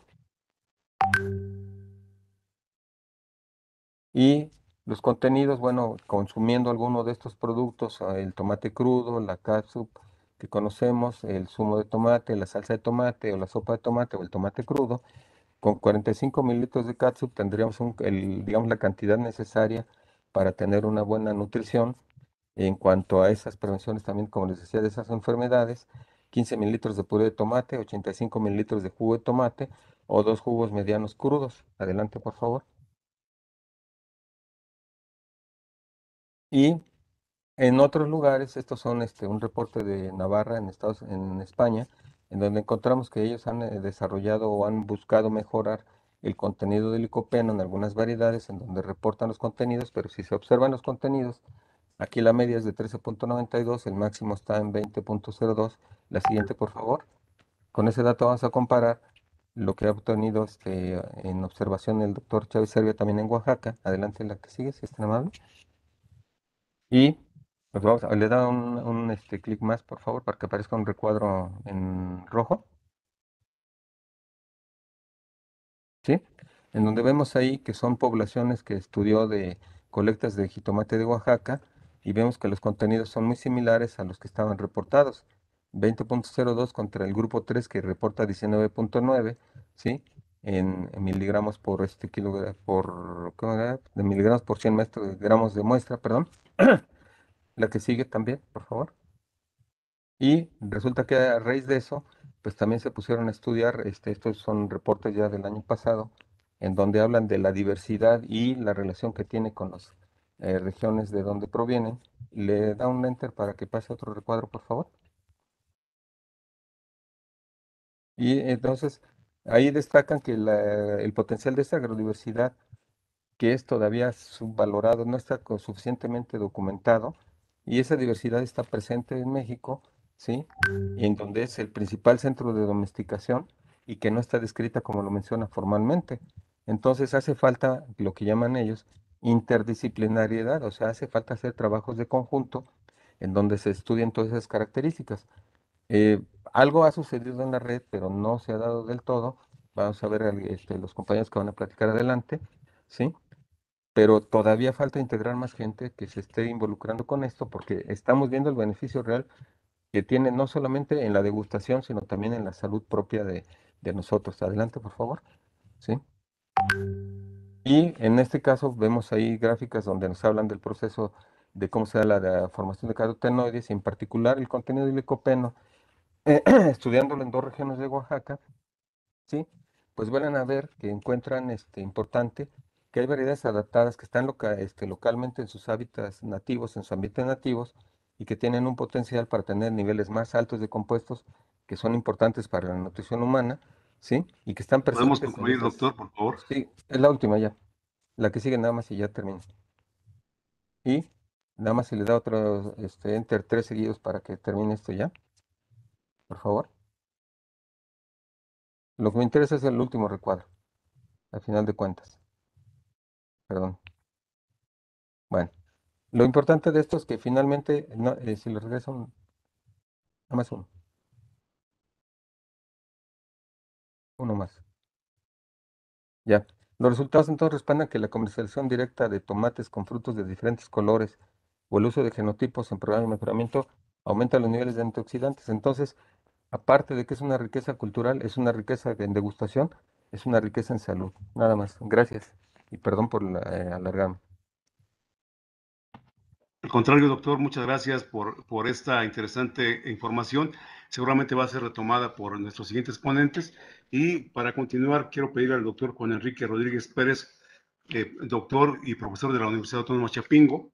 Él es profesor investigador de la Universidad Autónoma Chapingo, es investigador nacional nivel 1, es editor principal de la revista Chapingo, serie Horticultura, miembro de la Red Nacional de Jitomates del SNICS SADER líneas de investigación en mejoramiento genético de jitomate y estadística aplicada, participación en programas de académicos de licenciatura, maestría y doctorado en horticultura, es doctor en ciencias en genética por el Colegio de Postgraduados, maestro en ciencias también por el Colegio de Postgraduados y es ingeniero agrónomo fitotecnista de la Universidad Autónoma Chapingo. Tiene experiencia en investigación en, el INIFAP, en mejoramiento genético de triticale y de trigo, y es profesor investigador de la Universidad Autónoma de Chapingo desde 1992. Además, es editor general de la revista Chapingo Serie Horticultura, secretario particular de la rectoría durante, el periodo 2010 y 2011, coordinador del Instituto de Horticultura y del posgrado de Fitotecnia de la UACH del 2007 al 2010 y subdirector fue subdirector de investigación del Departamento de Fitotecnia de 2004 al 2007. Además, coordinador del Programa Universitario de Investigación en Cereales de Grano Pequeño. Doctor Juan Enrique Rodríguez, bienvenido y eh, escuchamos su, eh, presentación que se titula El mejoramiento genético y las nuevas variedades de, tomate. Muchas gracias, doctor. Adelante. ¿Qué tal? Buenos, eh, buenas tardes. Este, muchas gracias por la invitación. Es un placer poder platicar. Voy a compartir la, la, ponencia, por favor. Este. ¿Sí se ve la ponencia? Sí, adelante, doctor. Sí. Ok, bueno, vamos a platicar un poquito sobre, se ve solamente la, disculpen, es que no he manejado este, este paquete, eh, sí se ve solamente la, la, ponencia, ¿verdad? No aparece. Está la, la carátula, la, oh. la, primera parte. Perfecto, gracias. Bueno, entonces vamos a platicar un poquito sobre lo que son el, el mejoramiento genético y las nuevas variedades de jitomate en México. Eh, no cabe duda que el mejoramiento genético es una actividad muy cara, requiere de muchos eh, recursos y de mucha inversión. Y el mayor problema es que es a largo plazo, ¿verdad? Para tener los primeros eh, logros dentro de un programa de mejoramiento se requieren unos 12, 15 años, tal vez menos si se tiene con todos los recursos a la mano, pero es una inversión muy cara a largo plazo. Por ello es que la, el costo de las semillas es un problema fuerte en, este, en estos sistemas de producción. ¿Sí? Ok, este. Aquí está. Bueno, eh, a nivel mundial, México produce el 3.4% de esta hortaliza, es el noveno productor, es el primer exportador. Eh, en México es la segunda hortaliza más sembrada después de Chile. Tiene una producción de 3.37 millones de toneladas anuales, representa el 10% de las eh, exportaciones agropecuarias y bueno, tiene una gran eh, generación de divisas por conceptos de exportación, ¿verdad? De ahí la gran importancia social y económica por los géneros, eh, por los empleos directos e indirectos que genera este cultivo. Este cultivo se enfrenta en México a diversas condiciones, ¿verdad? Tenemos condiciones de cambio, campo abierto, en invernadero, en malla sombra, con acolchados, etcétera. Y bueno, al ser una, eh, estar ampliamente difundido, que es casi 50 mil hectáreas, ¿verdad? Pues está expuesto a factores adversos, tanto bióticos como abióticos. Eh, también está requerido por las exigencias de los mercados que pueden ser locales, nacionales e internacionales.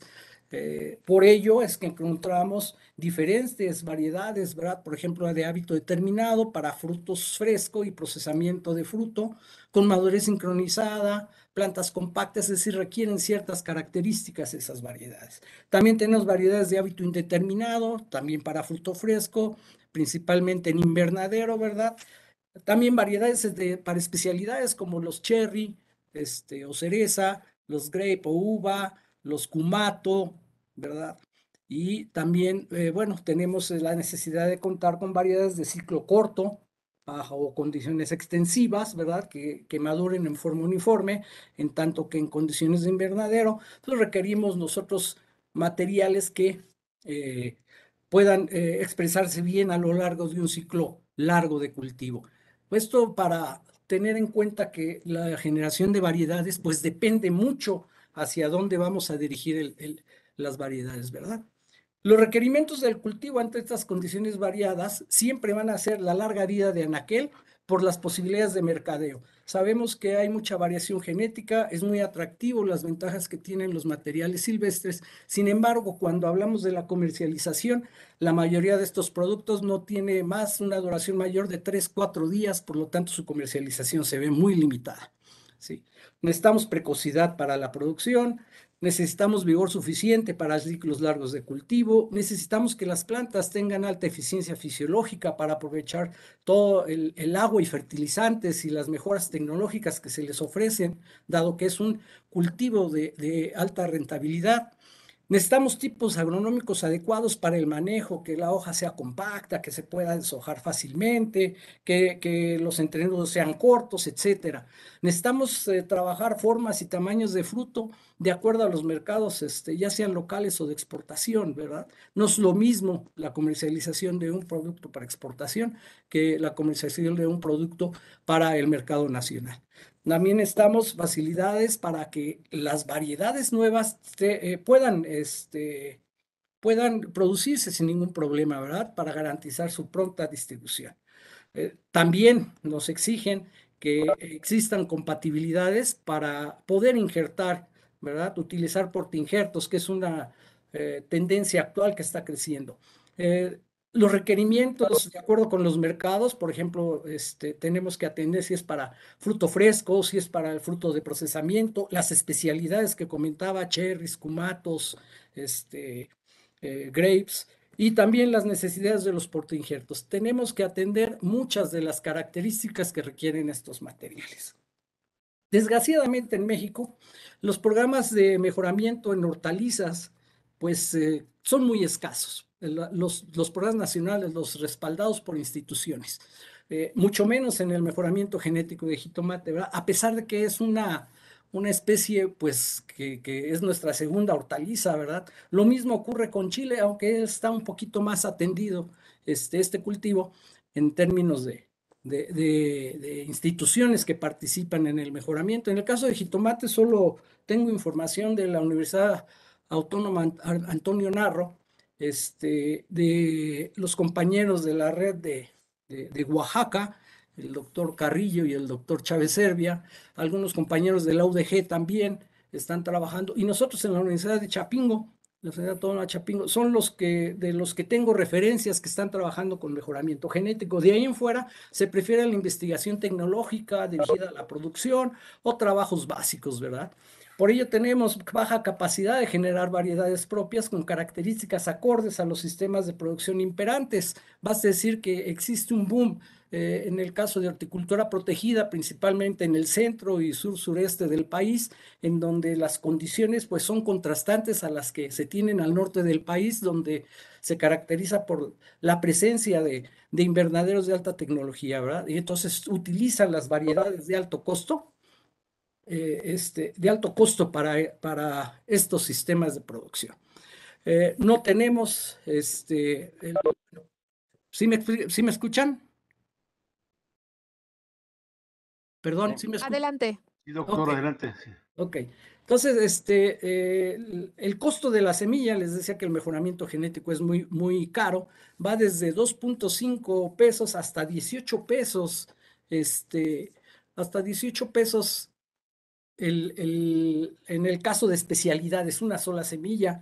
Y bueno, toda esta producción de semillas depende prácticamente en su totalidad de, de las empresas transnacionales. Eh, este mercado, con cuentas alegres, es de al menos 6 mil millones de pesos anuales por el concepto de venta de semilla de jitomate, nada más de jitomate. Imagínense, le pegamos la de chile morrón, la de chile serrano, la de pepino, la de, las eh, variedades de papaya, etcétera. México es líder exportador en al menos 12 hortalizas, ¿verdad? Y bueno, toda esa semilla se comercializa eh, por parte de empresas transnacionales, casi toda la semilla. Bueno, ¿por qué el jitomate ha tenido éxito en el mejoramiento y en la distribución o la dispersión a través de todo el mundo? Sabemos que el jitomate se siembra en 99 países.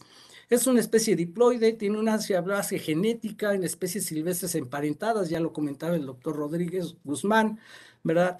Tiene facilidades para realizarse cruzamientos, cierta facilidad, ¿verdad? No es tan fácil cruzar entre estos materiales, ¿verdad? Se puede injertar, también es una gran ventaja. Se pueden realizar propagación in vitro, propagación vegetativa también. Tiene ciclos cortos de reproducción, ¿verdad? Ya se cuenta con la secuenciación del genoma, fue posible secuenciarlo y bueno, también tenemos, gracias a eso, el conocimiento de qué ha pasado con los procesos de domesticación. Eso nos ha servido para generar algunas estrategias de mejoramiento, ¿verdad? Eh, los objetivos del mejoramiento genético tradicionalmente han sido incrementar el rendimiento de fruto a través de tamaños, número de frutos por racimo, peso de fruto, eh, mejorar la calidad del fruto en términos de vida de anaquel, color, firmeza. Sin embargo, en la parte nutracéutica poco se ha trabajado en este aspecto. Resistencia a enfermedades es eh, preponderante este objetivo. De hecho, eh, las nuevas variedades tienden a, mejorar en función de la resistencia a enfermedades más que por las bondades del rendimiento.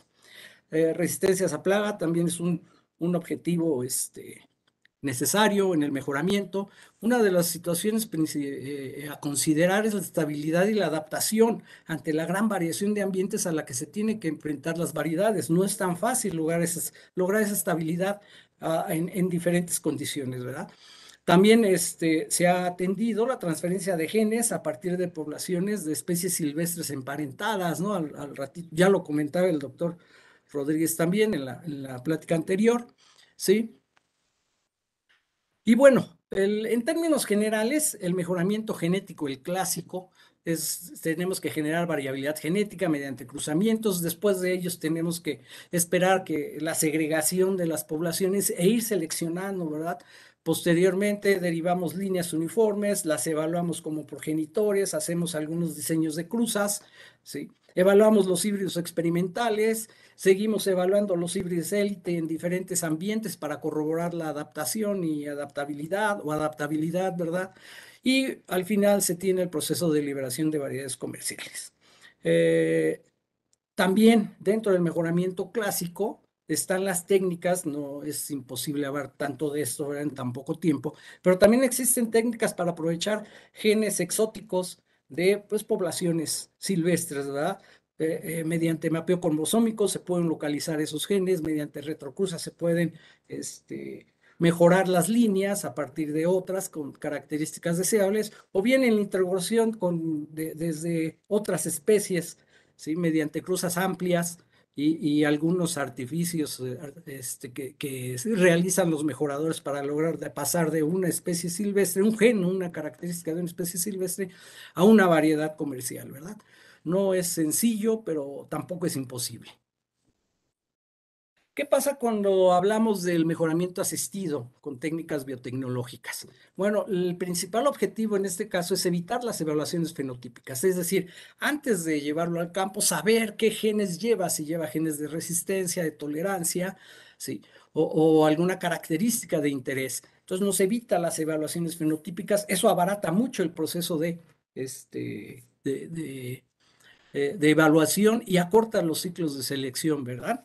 Este, también eh, se han desarrollado marcadores moleculares para, principalmente para genes mayores, son las resistencias a enfermedades, algunos de calidad de fruto, Son, principalmente los logros que se ha tenido. Se han hecho o, se han mejorado las formas de hacer mapeo cromosómico y las estrategias de generación de líneas e híbridos. Se ha acelerado la introducción y retrocruzas asistida por los marcadores moleculares.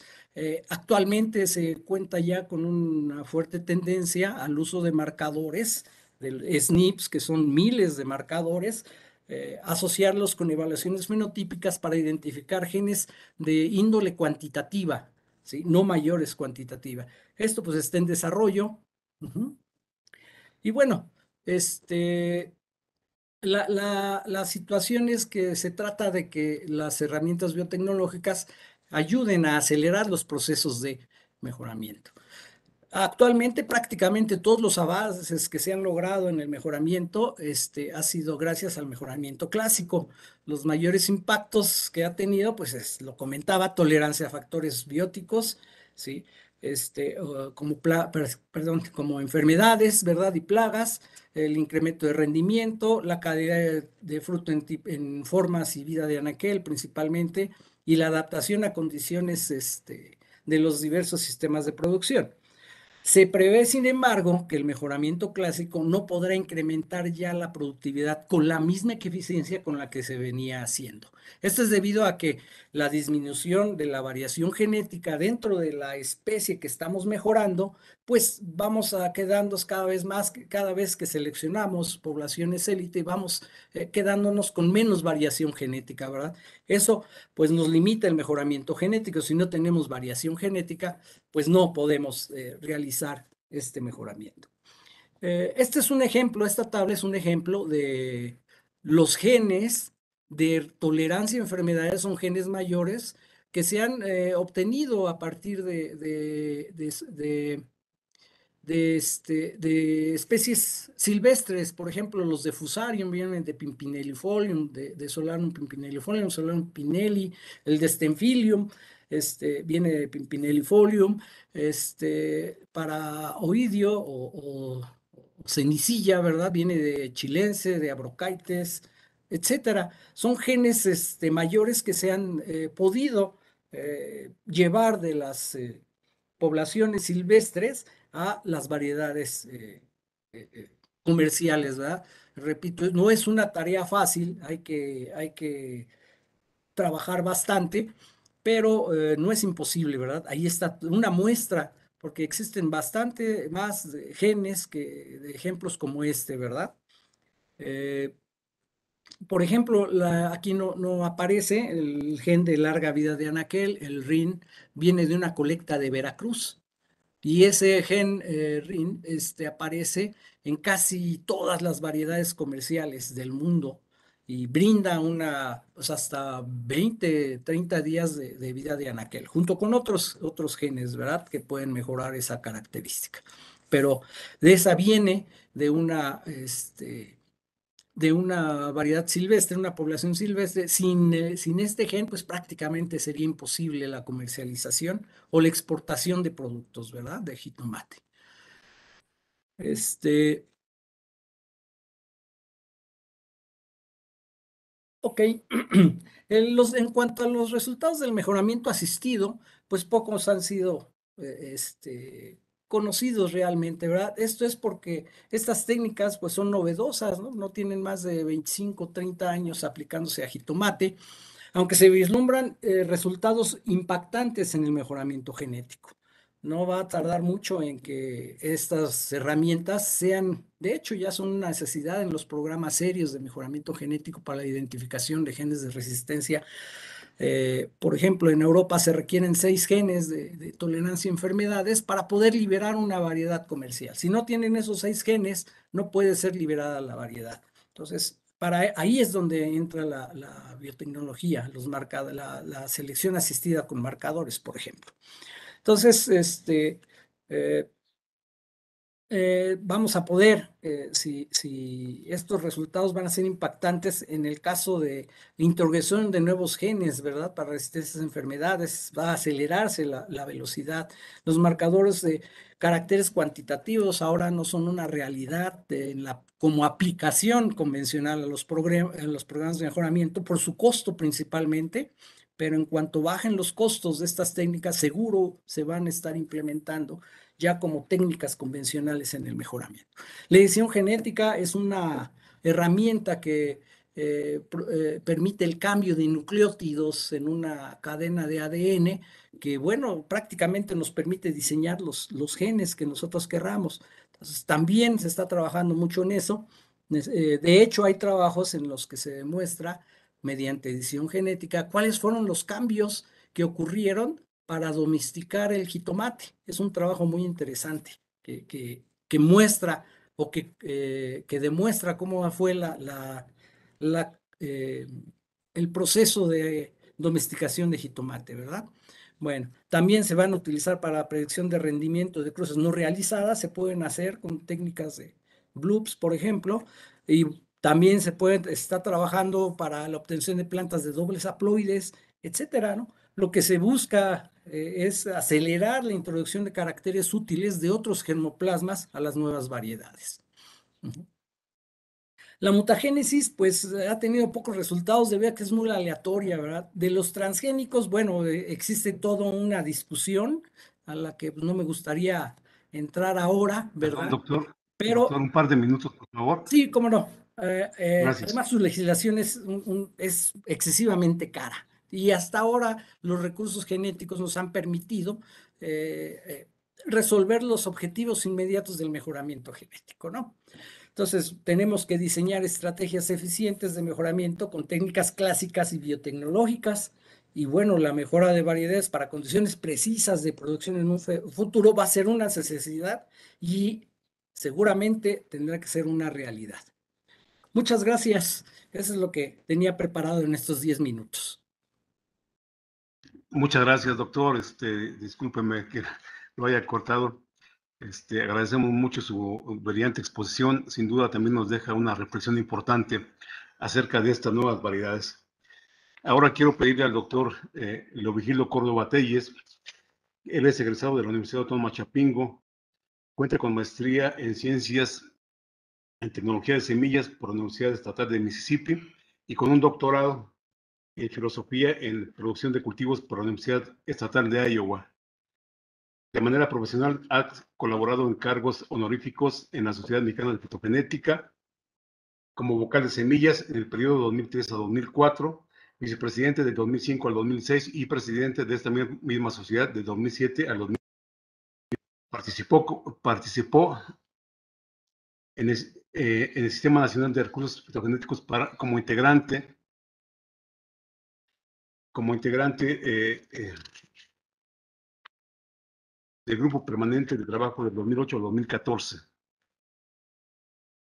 Antes, en el PNC fue coordinador del programa en producción de semillas en el periodo del 2003 al 2016 y coordinador del posgrado en recursos genéticos en productividad de 2015 al 2016 ha impartido los cursos curriculares de acondicionamiento de semillas, fisiología y, biología molecular de las semillas, así como seminario 1 en proyectos de investigación en el Colegio de Postgraduados, con un total de 10 cursos, talleres y simposios.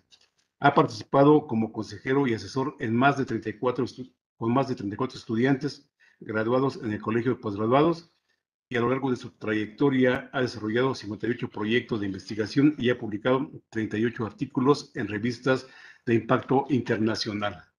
Ahora queremos pedir al doctor Leo Vigildo que nos exponga el, trabajo titulado El registro de variedades de tomate en México. Adelante, doctor Leo Vigildo. Muchas gracias, profesor Mejía. No sé si, si tienen mi presentación que les envié, se me la van a compartir o la comparto yo. Eh, ah, la tenemos, ya la tenemos cargada, a ver si la podemos compartir. Adelante.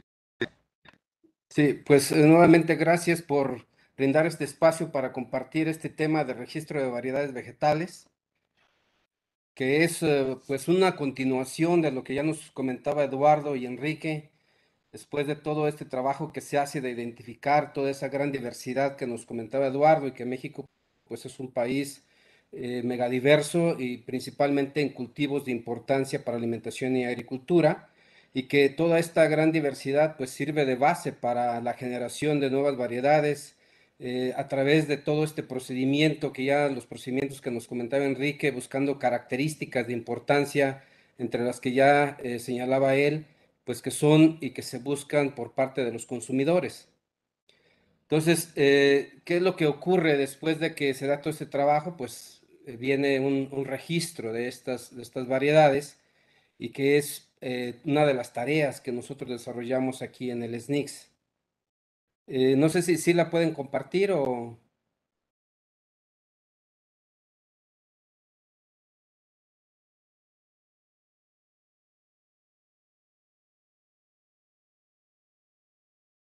Entonces, continúo adelantando un poquito de lo que es la presentación. El SNICS tiene tres actividades sustantivas. Una tiene que ver con la calificación de semillas, es decir, eh, todo el proceso de producción de semillas certificada y que a través de esta actividad se atienden a más de 600 empresas productoras de semillas certificada. Se certifican eh, anualmente más de 200 eh, de 200 mil toneladas de semilla calificada Toda esta semilla calificada proviene de 21 cultivos en atención. Más o menos se otorgan eh, más de 5.5 millones de etiquetas de certificación de esta semilla y para estos 21 cultivos en promedio se cubre el, 35.3% de la superficie cultivada. Este porcentaje obviamente varía de cultivo a cultivo. Eh, si analizamos, por ejemplo, trigo, pues es entre 90 y 100%, frijol entre 5 y 7%, Eh, maíz, eh, si descontamos la superficie cultivada con la gran diversidad que tenemos, andamos entre el 95%. Entonces es variado, pero es eh, en promedio el 35.3%. Otra de la actividad sustantiva que realizamos es el de variedades vegetales, el llevar este registro a través de la Ley Federal de Variedades Vegetales que fue publicada en 1996 y que con esta ley se ofrece una certeza a la innovación y se promueve esta innovación en la cual eh, a través de estos años se han otorgado más de 2.800 títulos de obtentor eh, a 26 países, incluyendo México. Y también tenemos un registro en el Catálogo Nacional de Variedades Vegetales que vamos a puntualizar un poco más en una transparencia adelante, con más de 3.900 variedades que están disponibles para la certificación de semilla. Eh, regresamos, por favor, al anterior. Em, son 140 los cultivos en los cuales se otorga este reconocimiento, ya sea a través de título de obtentor o a través del, Catálogo Nacional de Variedades Vegetales. 140 eh, cultivos, 18 instituciones de investigación nacional que son atendidas eh, y que realizan estos trabajos de mejoramiento. El otro tema que llevamos aquí en el SNICS tiene que ver con recursos fitogenéticos esto, eh, de acuerdo a lo que se publicó en el diario oficial de la Federación, el acuerdo que señalaba el secretario en su intervención el día de hoy, Comité Sectorial de Recursos Genéticos para Alimentación y la Agricultura, y que el SNICS funge como el coordinador de su Comité de Recursos Genéticos Agrícolas, donde realizamos acciones de conservación y uso sustentable de 45 cultivos nativos, entre ellos el jitomate, todo lo que presentó Eduardo es a través de una red, es uno de estos cultivos atendidos y prácticamente lo que presentó el día de hoy Eduardo, pues aplica para los otros 44 cultivos nativos, además de una red de bancos de germoplasma, para la conservación, éxito de las semillas que se colectan de toda esta gran diversidad. Eh, todo este trabajo es en coordinación con 65 instancias a nivel nacional, instituciones de enseñanza e investigación, eh, asociaciones, productores, entre otros. Eh, también en este, ah, en este sexenio se está implementando un modelo de sistemas locales de semillas, particularmente en el sur sureste, donde se trata de aprovechar estas, esta gran diversidad de materiales sobresalientes, de, semillas locales, de semillas nativas, en, multiplicación a pequeña escala para poder eh, mejorar la productividad de nuestros agricultores. La siguiente, por favor. Entonces, como comentaba Eduardo, pues parte de esa gran diversidad, incluso variedades que son mejoradas, regresamos al anterior, por favor, nos sirven como base para la generación de nuevas variedades a través de lo que nos comentaba Enrique, todos estos estrategias de mejoramiento genético que comentaba, pues eh, por un lado requieren una gran inversión y es una inversión a largo plazo y pues buscando en un momento dado tener una variedad que llegue a posicionarse en el mercado y que permita la recuperación de esa inversión. Entonces, pues es todo un, reto y por ello, pues son pocos los programas de mejoramiento que existen en México, como señalaba Enrique, pero que finalmente cuando se realizan estos trabajos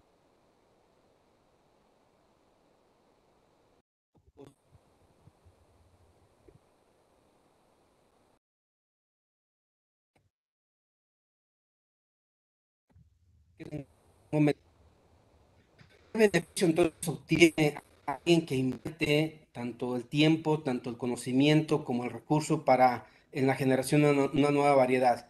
Al terminar una nueva variedad, eh, tiene la posibilidad de que se le otorgue un título de obtentor a través de la Ley eh, Federal de Variedades Vegetales, siempre y cuando cumpla con estos parámetros que vemos al final, al final que sea una variedad nueva, es decir, que no haya que no exista eh, que, no, eh, que no se haya comercializado, eh, que tenga un nombre de acuerdo a las reglas que existen para ello en, la documentación que manejamos aquí en el SNICS, que sea distinta, homogénea y estable genéticamente. Entonces, si cumple todos estos parámetros, se le puede otorgar un título de obtentor que, le, que va a tener el derecho, le va a ofrecer el derecho de la, el aprovechamiento de exclusividad por un tiempo determinado, en este caso para jitomate sería por 15 años, para otros cultivos perennes sería por 18.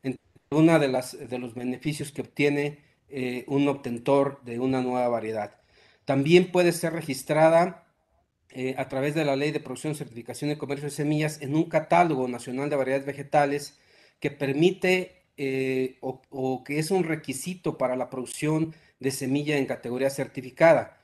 Entonces puede otorgarse el título y al mismo tiempo, incluso si se pretende la producción de semilla certificada, calificada por el SNICS, también se puede solicitar ese registro en este catálogo. Si no se logra la obtención de un título obtentor, al menos también se puede registrar en este catálogo si se pretende multiplicar sobre todo semilla certificada y para ello solamente tendría que eh, demostrar la denominación, la distinción, la homogeneidad y la estabilidad genética. Es decir, no es necesaria la novedad, pero obviamente con este registro en el catálogo nacional no se le ofrece un aprovechamiento de exclusividad como lo ofrece el título de obtentor. La siguiente, por favor. Entonces, aquí resumimos, cuando hay todo ese trabajo de mejoramiento, se obtiene esta nueva variedad, esta innovación, pues tiene la, posibilidad de solicitar este título de obtentor, si cumple con esas características se le otorga, o puede también solicitar el registro en este catálogo nacional de variedades vegetales, que únicamente es para la producción de semillas certificada, no, no ofrece esa protección intelectual y ese aprovechamiento de exclusividad, o bien pues se puede quedar sin registro, sin que pueda producirse semilla certificada de esa, de esa variedad y, que, y, sin que tenga esta protección intelectual que se brinda a través de este título de obtentor. La siguiente, por favor. ¿Cómo andamos en México en cuanto a los registros? Tenemos 94 eh, variedades registradas de jitomate, esto es considerando ambos registros, tanto en títulos de obtentor como en el Catálogo Nacional de Variedades Vegetales. Podemos ver en la gráfica de pastel que son 72 los que tienen título de obtentor, 20 que tienen ambos registros y dos que únicamente están registradas en el Catálogo Nacional de Variedades Vegetales. El 86% de estas variedades de jitomate provienen de, tres países principalmente, que es eh, Países Bajos con un 40%, Estados Unidos con un 33, 35%, eh, Francia con un 9% y México con un 6%. Podemos ver incluso en México, pues quiénes son los que tienen estas variedades registradas. Una es la Universidad Autónoma Agraria Antonio Narro, que tiene tres variedades. El Nazario SPRL, que tiene una variedad. Semillas Harris Moran este, Mexicana, SADCB, que tiene una variedad.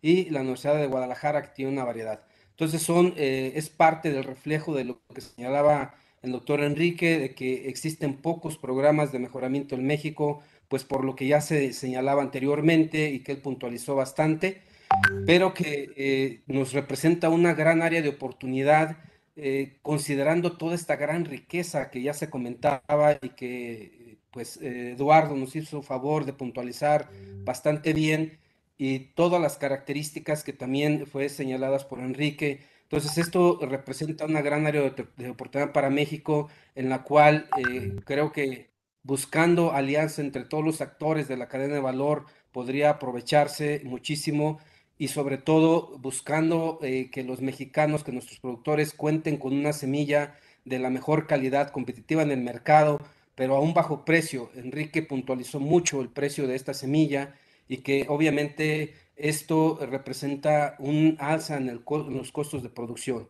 Entonces, eh, creo que tenemos una gran área de oportunidad y ojalá esto sirva para que eh, busquemos esta alianza entre los diferentes actores de la cadena de valor y podamos obtener más y mejores variedades para, para nuestros productores. La siguiente, por favor. En la siguiente transparencia vamos a puntualizar eh, lo que tiene que ver ya con cada una de las variedades, quiénes son las empresas que registran estos, estos materiales. Eh, creo que no avanza. Tenemos 82 variedades para fruto y 12 variedades para portainjertos. Aquí podemos ver las empresas que han realizado estos registros, principalmente como observamos, pues son empresas transnacionales, eh, y que incluso es donde se produce la semilla. Prácticamente en México no producimos semilla, eh, toda es de importación y por eso estos, eh, este costo tan alto que observamos. Entonces aquí tenemos, como señalábamos, pues esta gran área de oportunidad, poder generar estas variedades para nuestro país. La siguiente, por favor. Con esto creo que sería lo que yo les quería compartir y sobre todo eh, invitarlos a que eh, trabajemos identificando estos actores de valor y podamos eh, sumar esfuerzos para generar variedades, registrarlas aquí en nuestro país y producir semillas aquí en nuestro país para abaratar los costos de, que tiene nuestra semilla para nosotros todos. Muchas gracias, maestro Mejía, por este tiempo. Muchas gracias, doctor Leovigildo, por este panorama tan importante que nos ha brindado sobre el estado de las variedades de tomate en México. Le agradecemos mucho su participación. Vamos a continuar ahora con el doctor Enrique González Pérez. Él es ingeniero agrónomo en fitotecnia, tiene maestría en hidrociencias y un doctorado en recursos genéticos y productividad. Actualmente es el director de investigación del Centro de Investigación Región Centro, CIRCE, del INIFAP, y es además miembro del Sistema Nacional de Investigadores desde el 2013, nivel 1, con miembro del registro CONACYT y evaluador acreditado, miembro del Comité Técnico Científico del INIFAP desde el 2015 y tiene un reconocimiento muy importante, Who is Who in the Science of the World 2016. Tiene como líneas de investigación el mejoramiento genético de hortalizas, la producción intensiva de hortalizas y ornamentales a campo abierto e invernadero, sistemas de producción orgánica, calidad fitosanitaria de cultivos y semillas en campo e invernadero, producción de semillas, ha publicado 27 publicaciones científicas en revistas nacionales e internacionales, tiene seis capítulos y un libro completo. Ha titulado a 18 estudiantes de nivel licenciatura y cuatro de maestría y ha participado en más de 50 congresos nacionales e internacionales. Además, ha impartido cursos de capacitación a más de 120 eh, cursos nacionales y cinco internacionales. Ha, ha, liberado y registrado cinco, dos variedades, una de cilantro y una de tomate de cáscara. Entre otras actividades, es revisor de, de comités editoriales de cuatro revistas internacionales y nacionales. Es director asociado de la revista mexicana de, fito, de fitopatología y además editor asociado de la revista Chapingo Serie Horticultura, revisor de proyectos para el CONACYT, líder y colaborador de proyectos de investigación y además responsable del Laboratorio de Cultivo de Tejidos en el campo experimental Bajío del INIPAP. El doctor Juan Enrique González Pérez, agradecemos su, su participación con el tema investigación del cultivo de jitomate por el INIPAP. Adelante, doctor. Gracias, maestro Mejía. Eh, buenas tardes a todos y ante todo y principalmente agradecer a los organizadores por esta oportunidad de compartirles los avances que hemos tenido en la cuestión del cultivo de jitomate eh, aquí en el campo experimental Bajío y en el campo experimental Zacatepec principalmente. La siguiente, por favor. Ok, eh, creo que no es, este, no hay que hacer redundancia en las cosas. Los antecesores a esta plática, el maestro, los doctores, perdón, Eduardo Rodríguez, Enrique Rodríguez e inclusive aquí el doctor Leovigildo ya han dado un antecedente de cómo es la situación general en, México sobre el cultivo de jitomate, pero sí me gustaría recalcar una cosa más. Eh, somos un país dependiente de tecnología en cuestión de semillas en el caso de jitomate prácticamente el 100% de las semillas que se cultivan en México son de importación. Los datos que proporcionaba el doctor Lubigildo dan este, conocimiento de ello. Todas las variedades que están actualmente registradas son de procedencia extranjera. Eh, la investigación en la que nosotros realizamos es realmente mínima comparada con todos los años de experiencia que se tienen con estas compañías transnacionales. Sin embargo, eh, partiendo de la eh, del principio de que México es un centro de domesticación y de diversificación, pues tenemos que tenemos un amplio panorama y una alta área para nosotros poder este, involucrarnos en esta parte del mejoramiento genético. Dice que de todo lo que se ha trabajado en el instituto, solamente se han hecho trabajos muy esporádicos en principalmente seis especies de jitomate. Sin embargo, de esas seis, nada más en tres se han presentado o han realizado trabajos de investigación, algunos de investigadores tiempo atrás. Sin embargo, ha habido unas pequeñas experiencias en periodos muy cortos, pero no han logrado culminar en, la liberar, en liberar variedades o híbridos o materiales mejorados para que puedan ser usados por todos los productores de, México. Eh, ha sido, por así decirlo, este, un fracaso eh, no hemos podido consolidar toda esta investigación y satisfacer la necesidad de los productores. Entonces, a manera de nosotros contribuir para cubrir las demandas de diferentes materiales de jitomate, que ya no sean el que de por sí se cultiva y que más oferta y que tradicionalmente se consume, como el saladero, el tipo bola, estamos experimentando eh, el explorar nuevas áreas como el tipo uva, el tipo riñón, eh, son materiales de los cuales nosotros tenemos colectas. ¿Sí? La siguiente, por favor. Colectas y que están resguardadas eh, principalmente en dos campos experimentales, en Zacatepet, allá en Morelos, y aquí en el campo experimental Bajío. En el caso de Zacatepet se tiene conocimiento de eh, que se estuvo trabajando a partir de 1989 en algunos materiales buscando la resistencia del chino de tomate. Pero sin embargo, los frutos no culminaron en la liberación de la simplemente se quedaron en la obtención de, de líneas F7 tolerantes, pero no lograron ser eh, libradas y por ende pues se quedó nada más en un intento.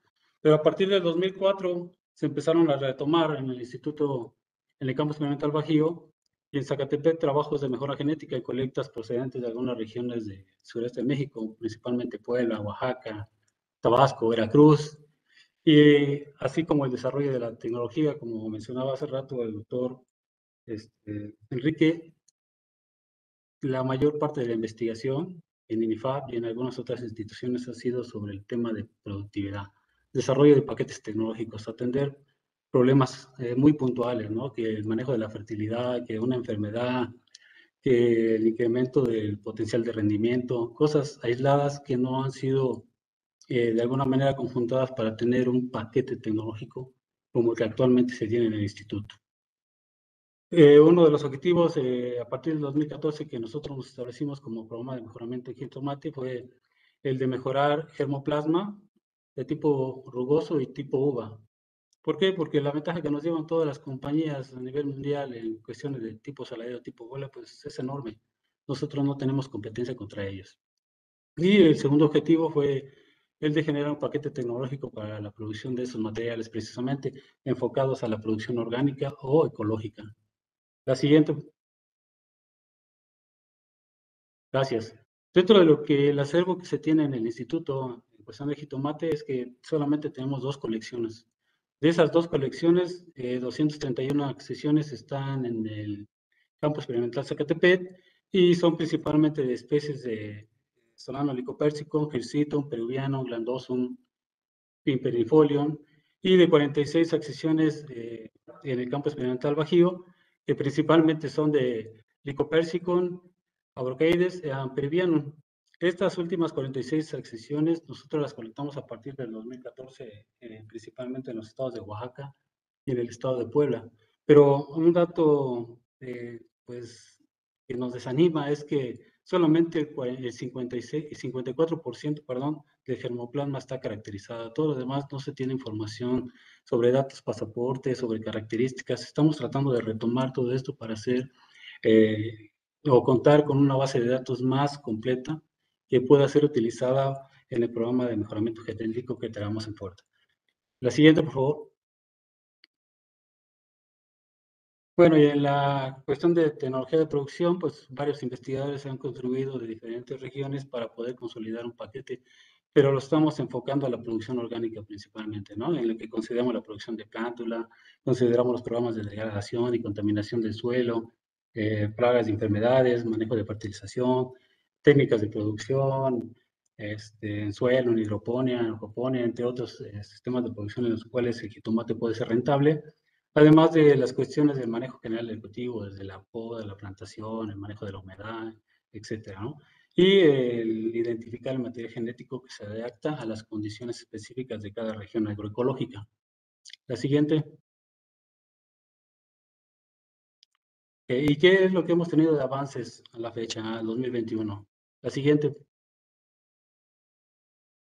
Ok, mediante las técnicas genotécnicas que hemos estado utilizando, como es la selección de plantas, selección recurrente, hibridación e intra, específica, selección asistida con marcadores moleculares, que es lo que nosotros estamos incorporando, Desde diciembre del 2021 se tiene una colección caracterizada morfológica y fenológicamente de 40 accesiones, 15 líneas avanzadas del tipo rugoso en diferentes etapas F3, F5, F6 y una línea F7 de tipo uva, la cual estamos denominando como N24 y la cual esperamos que para finales del 2023 ya esté en trámites de, para poderse liberar ante el SNICS.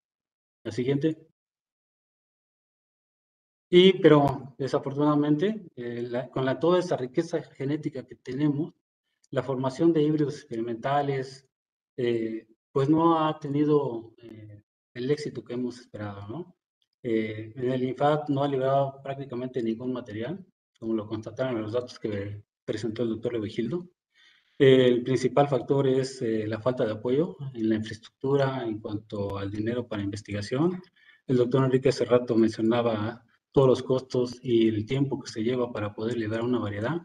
Es demasiado largo, pero nosotros tratamos de acotar un poquito ya con el uso de técnicas moleculares, lo cual parece que va por muy buen camino. La siguiente.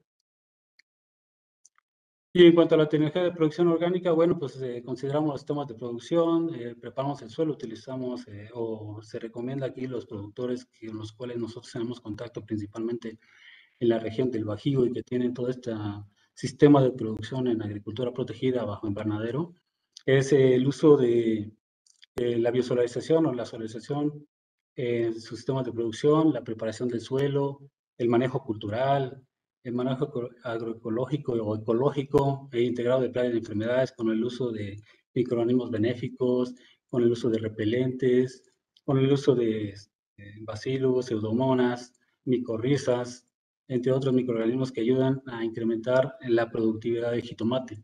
Además del manejo de la nutrición organomineral con el uso de fuentes orgánicas como las compostas, como los exiliados, la melaza, que es la innovación que se hizo a partir del 2014 y que prácticamente el 96% de los eh, sistemas de producción aquí en el Bajío lo utilizan. Eh, además de la incorporación de rocas como la roca fosfórica, como el yeso, como la dolomita, han sido de gran éxito y han sido implementadas con éxito en muchas de las unidades de producción aquí del Bajío principalmente. El manejo post cosecha, eh, con este paquete tecnológico nosotros desarrollamos, eh, hemos alcanzado un máximo de 46 kilogramos por metro cuadrado durante seis meses de cultivo. ¿sí? Entonces, eh, comparado con la agricultura convencional, pues aún estamos muy por debajo, ya en algunas unidades de producción alcanzan este, 90, 96 kilogramos por metro cuadrado. Pero bueno, vamos por buen camino según lo que nos indica. La siguiente. Bueno, y este es el grupo de trabajo que actualmente está trabajando aquí en el instituto, eh, lo que es la cuestión de jitomate, tanto el mejoramiento genético como la cuestión de tecnología de producción. Y eh, bueno, creo que traté de acotarme el tiempo. Este, maestro Mejía, le agradezco.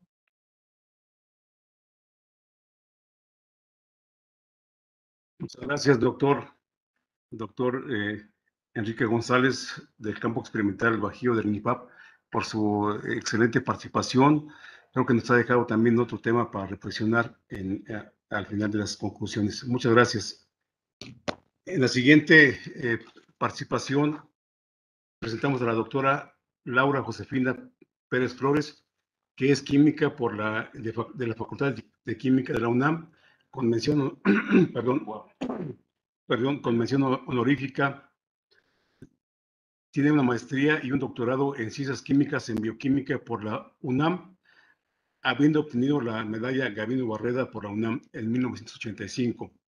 Fue becaria de GAPA de la UNAM, del CONACYT y de Cold, Spring Harbor Laboratory en Estados Unidos. Ingresó a la Universidad Autónoma Metropolitana, perdón, perdón, disculpen, Unidad Iztapalapa en 1984, donde actualmente es profesora titular C definitiva. Tiene el estímulo a la docencia e investigación nivel C, beca de apoyo a la permanencia, estímulo a la trayectoria académica sobresaliente, perfil deseable de PRODEP, nivel 2 en el Sistema Nacional de Investigadores y pertenece a la Academia Mexicana de Ciencias.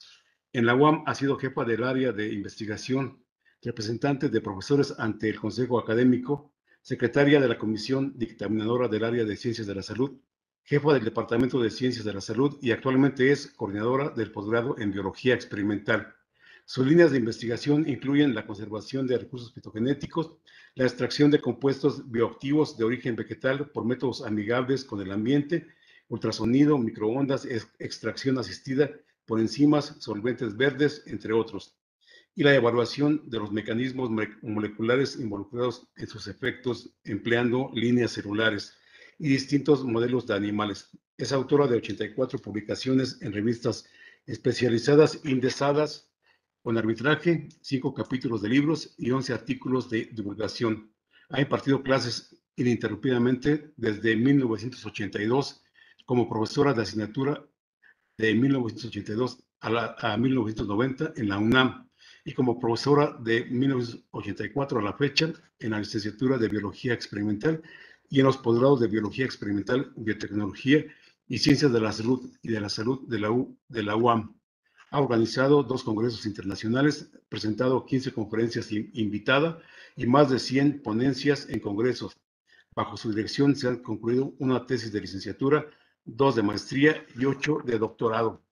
Adelante, doctora Laura Pérez Flores, con su eh, trabajo titulado El valor funcional y nutracéutico del tomate. Adelante, doctora. Muchas gracias. ¿Me escuchan? Sí, sí, la escuchamos. Adelante. Muy bien, porque no pude encender mi cámara, pero bueno, con que me escuchen creo que es suficiente. Muchas gracias. Entonces, pues antes que nada, les quiero agradecer a los organizadores del evento por su amable invitación para hablarles del valor funcional y nutracéutico del tomate. Este trabajo ha sido realizado en parte, como se mencionó, soy miembro de la Universidad Autónoma Metropolitana y también participo en la red de Jitomate. Si me pasan la siguiente, por favor. Bueno, ya se ha mencionado, pero creo que mientras más se va acercando la hora de la comida, esto es más importante. Aquí tenemos cómo el jitomate es una hortaliza que tiene una gran versatilidad de usos. Lo consumimos tanto fresco como en ensaladas, en jugos, en salsas, en guisados. Lo podemos encontrar fresco o lo podemos encontrar ya procesado, industrializado. La siguiente, por favor.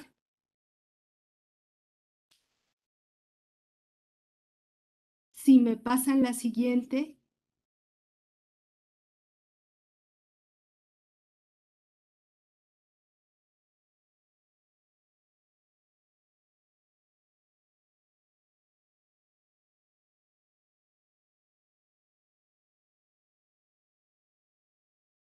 Creo que no ha pasado a la siguiente. ¿Me podrían pasar la siguiente aquí? Bien, como ya se ha mencionado, pues México tiene gran importancia en nuestro país el jitomate, tanto por su valor eh, económico, dados sus datos de producción y exportación que ya se han mencionado, pero también ya se mencionó que se considera que México es centro de domesticación y por ello pues tenemos una gran biodiversidad de estos materiales con variedades silvestres criollas con distintas formas, colores y sabores. Y ahora lo que quiero hablarles es otro aspecto que no se ha tocado. Cada vez más los consumidores estamos más informados y buscamos alimentos que además de los componentes nutricionales característicos típicos, tengan algunos otros beneficios adicionales a la salud. A estos compuestos que tienen estos beneficios adicionales se les ha denominado compuestos funcionales o compuestos bioactivos o nutracéuticos. Eh, ¿Me pasan la siguiente, por favor? Aquí tenemos un valor promedio del contenido nutricional y funcional del jitomate. Se presentan los datos como contenido de cada compuesto por 100 gramos de fruto y también se presenta el aporte de estos 100 gramos a lo que se considera la ingesta diaria recomendada. Y aquí lo que podemos observar es que además de aportarnos el jitomate energía, fibra, carbohidratos, proteínas, etcétera, nos aporta una gran cantidad de antioxidantes y vitaminas. Y aquí quisiera hacer un énfasis en algo. Algunos de estos antioxidantes que nos aporta el jitomate se considera que son liposolubles, es decir, son solubles en grasa. Dentro de estos tenemos a los carotenoides, entre los cuales destaca el licopeno, que es el que le da el color rojo característico a los frutos comerciales de jitomate, pero también tenemos otros carotenoides como el beta-caroteno, la luteína, etc. Y también nos aporta vitamina E, principalmente tocoferoles. Y por otro lado, tenemos otros antioxidantes que están presentes en el jitomate que son hidrosolubles, es decir, son solubles en agua, y entre estos encontraríamos la vitamina C o ácido ascórbico y a los compuestos fenólicos, dentro de los que se encuentran flavonoides, ácidos fenólicos y taninos. Y esto es importante mencionarlo porque entonces la disponibilidad de estos antioxidantes va a depender de la forma en que preparemos el jitomate para consumirlo. Si me pasan la siguiente, por favor. Entonces, ahora quisiera hablar un poquito de cómo funcionan estos antioxidantes en nuestro organismo. Y para ello quiero mencionarles que los organismos aerobios, dentro de los cuales están las plantas, los animales, los seres humanos, pues hemos a lo largo de la evolución hecho uso del oxígeno en la respiración, pues para sacar mayor ventaja y energía de los alimentos. Pero como un resultado de este metabolismo, pues hemos generado en, como subproducto lo que se conocen como especies reactivas de oxígeno. Algunas de ellas son radicales libres. Y aquí en esta diapositiva, presentándolo como una balanza, vemos que cuando disminuyen las defensas antioxidantes del organismo y se acumulan estos radicales libres, pues ocurre lo que se conoce como un estrés oxidante. ¿Y qué pasa con este exceso de radicales libres o de especies reactivas? Pues estas van a poder atacar a algunos componentes de nuestras células, por ejemplo, a los lípidos de las membranas, a las proteínas e incluso al ADN, y eso va a ocasionar pues alteraciones en las células. Y se han asociado a este estrés oxidante distintos procesos degenerativos como el envejecimiento y también varias enfermedades degenerativas, como se menciona aquí, al cáncer, distintos tipos de cáncer, la diabetes, hipertensión arterial, otro problema muy actual que es la obesidad y enfermedades neurodegenerativas como Alzheimer, Parkinson y también cardiopatías, entre otras. Ahora, ¿Cuáles son estas defensas antioxidantes que tenemos nosotros contra estas especies reactivas? Pues tenemos a las defensas antioxidantes no enzimáticas, que justamente son esos compuestos funcionales presentes en los frutos de jitomate, entre los cuales tenemos a los carotenoides, a los compuestos fenólicos y a las vitaminas. Y estos en los seres humanos, pues los adquirimos principalmente a través de la dieta. También tenemos algunas enzimas para defendernos de esto. Pasamos a la siguiente, por favor. Se ha visto, hay muchos reportes de que esta cantidad del contenido de compuestos funcionales que está presente en, los, en el jitomate, pues depende de varios factores. Obviamente de la variedad, pero también del estado de madurez en el que se cosechen los frutos, de las condiciones de cultivo, desde la luz, disponibilidad de agua, la temperatura, el sustrato que se usa para su crecimiento, la fertilización y como les mencionaba hace rato también de la forma de preparar los alimentos. ¿Me pasan la siguiente, por favor?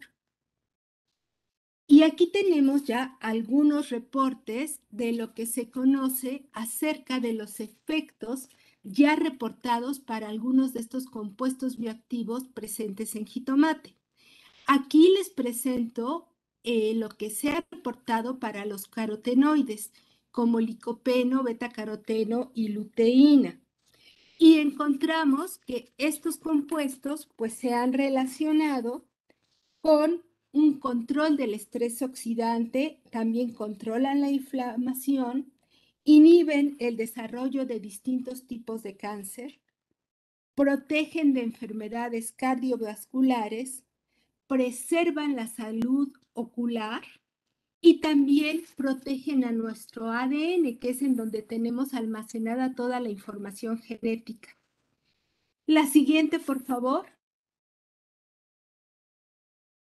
Las vitaminas presentes en el, el jitomate, como la vitamina E, los tocoferoles que les mencionaba, la vitamina C o ácido ascórbico y los folatos, que son vitamina B, pues se ha visto que estos inhiben el daño a biomoléculas como los lípidos. Por eso se dice aquí inhiben la lipoperoxidación, que es el daño que las especies reactivas causan a los lípidos de las membranas. También protegen de enfermedades cardiovasculares, disminuyen el riesgo de diabetes, el avance del cáncer de próstata, disminuyen el colesterol en sangre, la inflamación, previenen la anemia en mujeres embarazadas y regulan también el crecimiento fetal. La siguiente, por favor. Y aquí tenemos los datos reportados para los compuestos fenólicos que incluyen flavonoides, ácidos fenólicos y taninos. Aquí se ha visto que estos compuestos tienen actividad antiinflamatoria en el intestino, previenen el riesgo de cáncer gástrico, protegen también al ADN de su oxidación y se le han encontrado que tienen también actividades antibacterianas, antivirales, anticarcinogénicas, es decir, previenen el desarrollo del cáncer y también protegen al corazón. La siguiente, por favor.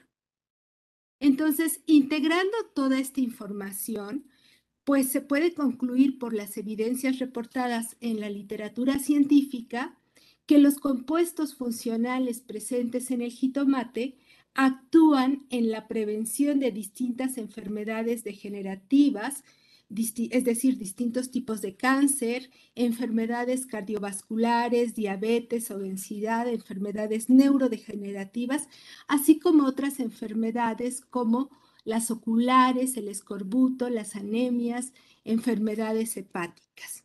La siguiente, por favor. En esta figura, pues se hace un resumen de cómo estarían actuando estos componentes. Entonces se ve que pues nosotros los seres humanos y también otros organismos que respiramos, estamos expuestos como parte de nuestro metabolismo respiratorio a generar especies reactivas de oxígeno, pero también estas especies se van a generar en nuestros organismos por factores como contaminación ambiental, la exposición a radiación ultravioleta, rayos X, etcétera, y todo esto provoca un aumento en estas especies reactivas, muchas de ellas radicales libres. Y esto pues va a atacar a los antioxidantes, va a provocar un estrés oxidante, se dañan las biomoléculas.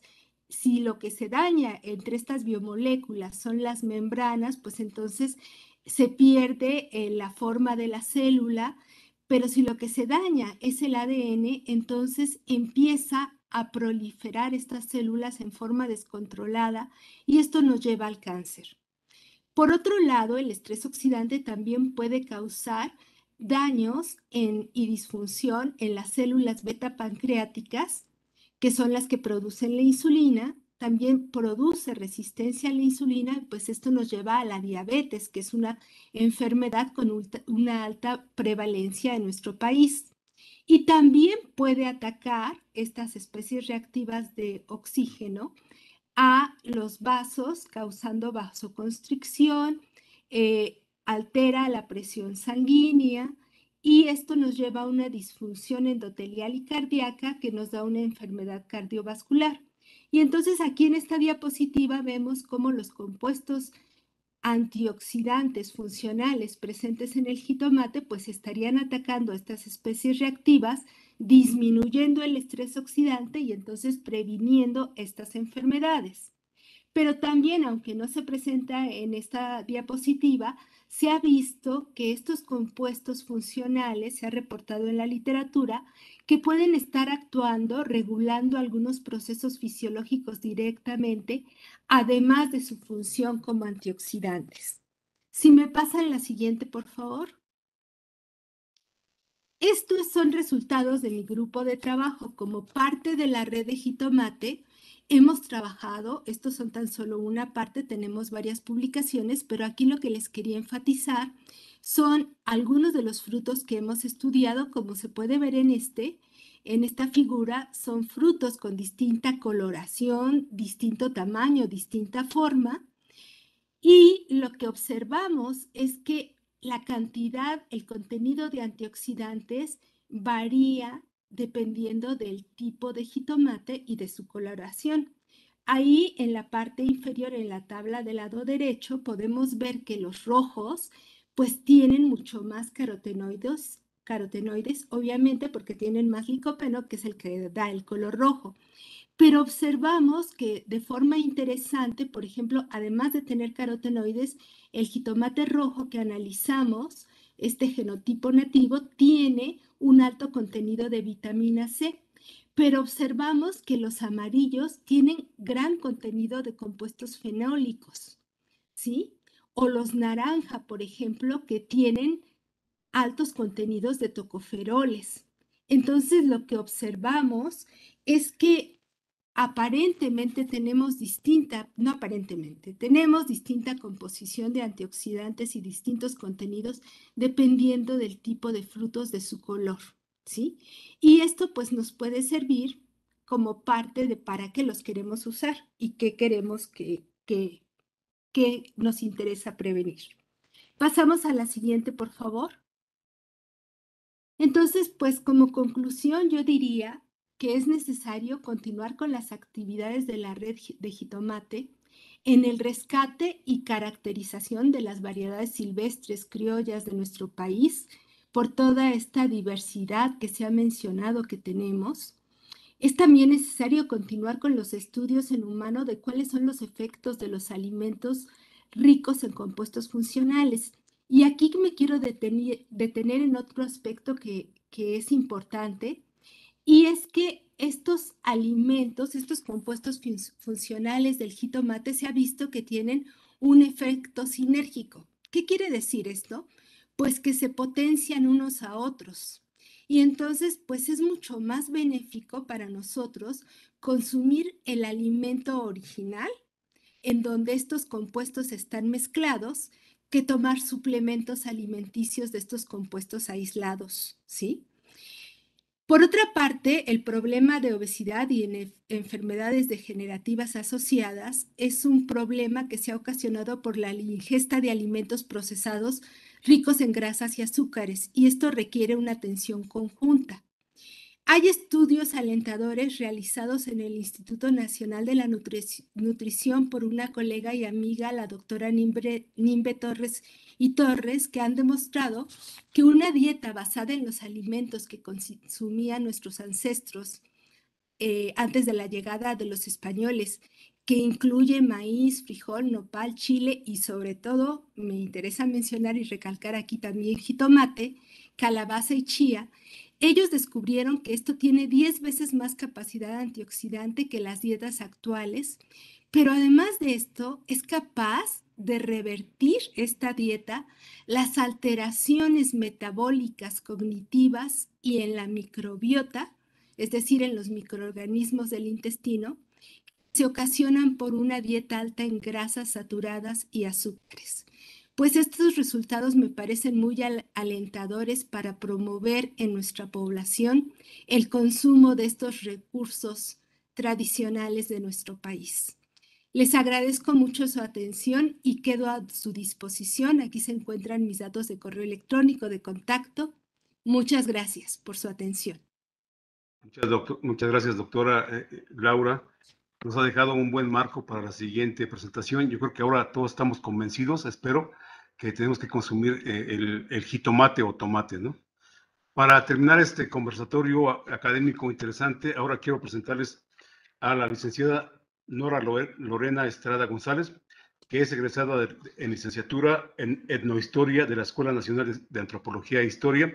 Ha sido servidora pública por más de 25 años en instituciones tales como el Instituto Nacional de Indigenista, el Instituto Nacional de Desarrollo Social, el Instituto, Instituto de las Mujeres, el Instituto de la Juventud, la Secretaría de Desarrollo Social, Autoridad de la Zona Patrimonio Mundial Natural y Cultural de Xochimilco, Tláhuac y Milpa Alta, Secretaria de Cultura y la Secretaría de Pueblos y Barrios Originarios y de Comunidades Indígenas residentes de la Ciudad de México, por citar algunas instituciones. Ha sido asesora y consultora para organismos nacionales en proyectos desde organizaciones sociales y civiles para la Secretaría de Educación Pública, la Secretaría del Medio Ambiente, el Instituto Nacional de las Mujeres e internacionales como la PNUD, la UNICEF y la UNESCO, en temas como género, adolescencia e infancia, prevención de, de violencia, medio ambiente y salvaguarda del patrimonio cultural diversos estados y municipios del país. Ha realizado tareas como asesora legislativa en temas como patrimonio cultural, movilidad patrimonial y urbana, género, juventudes y derechos humanos, interculturalidad. Cuenta con diversas publicaciones digitales e impresas. Es conductora de programas de radio y ha realizado diversas colaboraciones para documentales y televisión. Es además muy importante cocinera tradicional por amor al arte y a las chinampas. Ha realizado colaboraciones charlas, cursos, talleres para la difusión de la cocina tradicional de la zona patrimonio para Slow Food Roma, la misión UNESCO y Comos México, Instituto Tecnológico San Miguel de Allende, la Universidad del Claustro de Sor Juana, el Colegio Gastronómico de México, Fogones MX, entre otros. Fue fundadora del colectivo cultural Casa Badiano de la Cruz para la salvaguarda de la cocina y la medicina tradicional chinampera ha recibido el premio Teocintle por el Colegio Gastronómico de México por sus labores para la salvaguardia de la cocina chinampera. Activista e impulsora de la soberanía y justicia alimentaria, impulsora del, plan de salvaguarda de la cocina chinampera. Eh, ella nos va a presentar el tema titulado El uso del tomate en la gastronomía tradicional mexicana. Adelante, licenciada.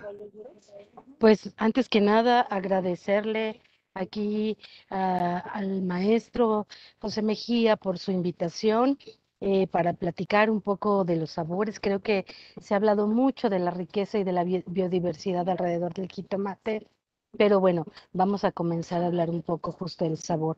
En este momento me encuentro, como ahorita les voy a, a, presumir, estamos en los canales de Xochimilco, justo en una encuentra con mis compañeras cocineras hay cocineras de varios estados en este momento y bueno, y con permiso de ellas pido la palabra para poder un poco reflexionar sobre el uso del jitomate. Y tendremos que empezar diciendo de este mundo ya no podría imaginarse sin una salsa de tomate. Creo que uno de los regalos más grandes de todo este encuentro y biodiversidad de cocinas a partir de la conquista española ha sido sin duda la utilización del jitomate en la cocina, no solo en la cocina mexicana, sino en la cocina europea. Eh, tendríamos que decir que el jitomate fue, ha sido uno de los elementos que cobran un valor preponderante debido a la milpa. Es uno de los frutos que crecen alrededor de la milpa, en donde todos nosotros vamos encontrando justo pues un sabor diferente.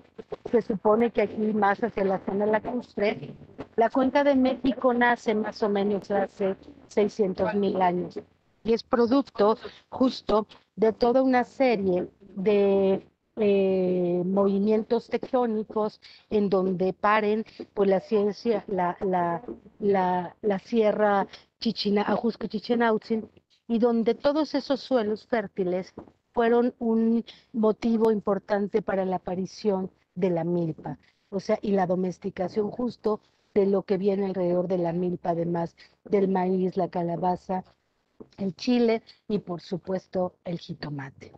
Eh, aquí en la Cuenca de México tenemos presencia de domesticación de varios de las especies. Eh, las evidencias humanas nos sitúan hace más o menos 13.000 años con la mujer del Peñón o hace nueve años con la mujer de Tláhuac, pero eso nos habla de toda una serie de procesos alimentarios que hemos venido haciendo alrededor justo de esta, pues de esta cocina lacustre. Tendríamos que hablar también, por ejemplo, de que al principio el gusto estaba más asociado al tomate verde, el que ahora se conoce como tomatillo, al tomate manzano, en donde esa acidez que ofrecía a los, a los alimentos, ahora asumen algunos estudiosos que se ha cambiado y sé que se ha eh, modificado por el uso, por ejemplo, de agregarle el limón, toda esa acidez. Pero tenemos un montón de platillos que están asociados al jitomate como parte central. Y en un primer lugar tendremos que decirlo que lo comemos crudo y que lo hacemos crudo.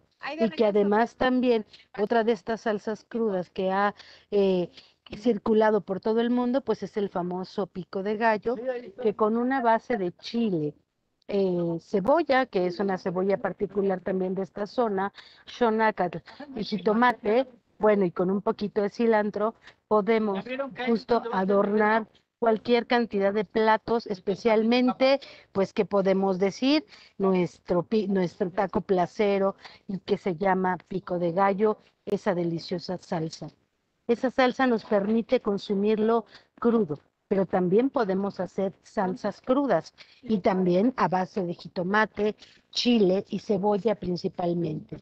Después ya con el consumo del ajo se fue adicionando para poder elaborarlo en algunos procedimientos cocidos, por ejemplo, como la salsa de tomate el famoso muli, el mole, tiene que ver justo con este resabio de salsas. Eh, eh, los estudiosos nos hablan de que hay toda una domesticación primera del tomate verde y que después el tomate rojo cobra una importancia muy grande en la conquista, que a partir de allí es que se empieza a popularizar. Y hay varios escritos, por ejemplo, de Bernal Díaz del Castillo, en donde se va señalando cómo es que los mexicanos mezclaban una, una variedad, por ejemplo, de jitomate y de la cebolla de aquí con chile, y entonces se consumía a manera de salsa ellos fueron agregándole otras cosas y entonces fueron, empezó a popularizarse más en el gusto hasta llegar a lo que ahora conocemos como este pan español que solamente eh, es muy común para desayunar en donde se abre el, el pan, se le pone un poco de aceite de oliva, se le raya el jitomate y se mete al horno y eso ya los da, hay un poco de gusto de ajo y eso ya da un desayuno que es muy común. Aquí podemos tener un montón de platillos que utilizamos con jitomate, desde el mole que incluye los jitomates hasta las sopas cotidianas, la, sopa de arroz o las sopas de pasta en donde mezclamos. Nosotros, por ejemplo, aquí para, para Xochimilco, utilizamos toda una serie, hacemos uno, un tamal que es un envuelto y que se llama tlapic. Este tlapique está hecho a base de tomate verde, eh, cebolla, ajo y pescado. Entonces todo eso se va envolviendo y se va directamente a cocimiento sobre el comal, lo que hace que se cueza al vapor. Pero también tenemos algunas variedades que se utiliza justo el jitomate rojo. Y si ustedes lo hacen, lo preparan en casa, es muy sencillo porque solamente es cortar jitomate, cebolla, un poquito de ajo, pueden agregarle nopales crudos o un montón de quelites que también forman parte de la milpa y pueden utilizar una proteína de pescado, en este caso porque somos una zona lacustre, pero también pueden utilizar menudencias de pollo, inclusive pollo y todo eso se va envolviendo, se hace una cuna con hojas de maíz, que es otra utilización del, del, del, del del propio maíz, de la milpa, y ahí se va, se hace una cuna con varias hojas, más o menos unas, ¿qué serán? Unas 10 eh, hojas porque tiene que aguantar el fuego directo en el comal y entonces se va cocinando paulatinamente eh, hasta cuando ustedes lo levantan y ya no escurre, es señal de que la proteína ya está cocida. Después ya con la utilización de proteínas, por ejemplo, como el cerdo, pues se cobró una gran importancia en los guisados. ¿Quién no ha comido un delicioso ahora sí que estofado con cerdo, jitomates, y al que se le pueden agregar calabacitas, chayotes, nopales, habas, guajes, dependiendo de la temporada. Pero pues ya no podemos, ahora sí que ya no podríamos vivir esta vida sin jitomate. También el jitomate lo utilizamos no solo para poder eh, consumirlo en alimentos salados, sino también en algunos lugares se puede consumir como un alimento dulce. Se puede hacer una mermelada dulce que acompaña muy bien eh, y equilibra algunos otros sabores, por ejemplo, como, como de la carne.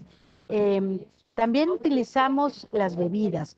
Aquí en Xochimilco hacemos un delicioso, y bueno, no solo en Xochimilco, yo creo que en muchos lugares eh, de la ciudad, en donde todavía tenemos pulquerías, y entonces hacemos un delicioso curado de jitomate que además se toma muy fresco. Cuando los niños, cuando éramos chiquitos, mi mamá nos hacía nuestro jugo de jitomate para que tuviéramos, para que se nos pusieran los cachetes rojos, y lo cual era muy rico porque había jitomates pues de muy buena calidad, libres de químicos, que se molían prácticamente con un chorrito de agua y ya se convertían en un delicioso jugo. Así que en un curado de jitomate o en un, o en un jugo de jitomate. Imagínense esta contribución al mundo ibérico, que ahora hay sopas basadas en eso, como el mismísimo gazpacho, en donde esta molienda y este molido de jitomate crudo con especias y con panes se ha convertido en una sopa fría sumamente popular para los días de calor y los días del verano. Eh, también utilizamos, por ejemplo, el jitomate para curarnos de algunas cosas. Si alguien tiene fiebre, se le pone en la planta de los pies. Entonces, eso es una muestra muy clara de cómo la presencia del jitomate, pues ahora sí que tiene una amplia eh, diversificación de usos, no solo dulces, salados, en sopa, en guisado, hasta postre, eh, sino que además tiene usos medicinales y que después de todo lo que hemos escuchado con todas sus propiedades para el consumo y todo eso, pues nos viene como cada vez más clara su importancia en las mesas. La cocina ibérica o la misma cocina romana, o sea, ¿qué podríamos pensar que las albóndigas vienen de las mismísimas Roma, pero ahora pues en medio de una salsa de jitomate y más si la ponemos un poquito de chile chipotle. Y bueno, pues aquí estamos en, en utilizando, se están sembrando las, las, variedades que consumimos aquí en Xochimilco, con lo que podemos hacer una mejor salsa, pues es el jitomate arriñonado que nos parece el más adecuado y el más dulce para poderlo meter al molcajete. Y si ustedes quieren hacer una deliciosa, solo basta con dientes de ajo, un cuartito de cebolla, unos tres o cuatro chilitos serranos o secos, lo que haya en cada uno de sus lugares, y los jitomates y todo eso al comal en una técnica que se llama tatemado y que es que se va caramelizando todos los azúcares de todos los productos directamente allí en el comal y después pasan a la molienda. La forma de molerlo es en círculos y hacia adentro.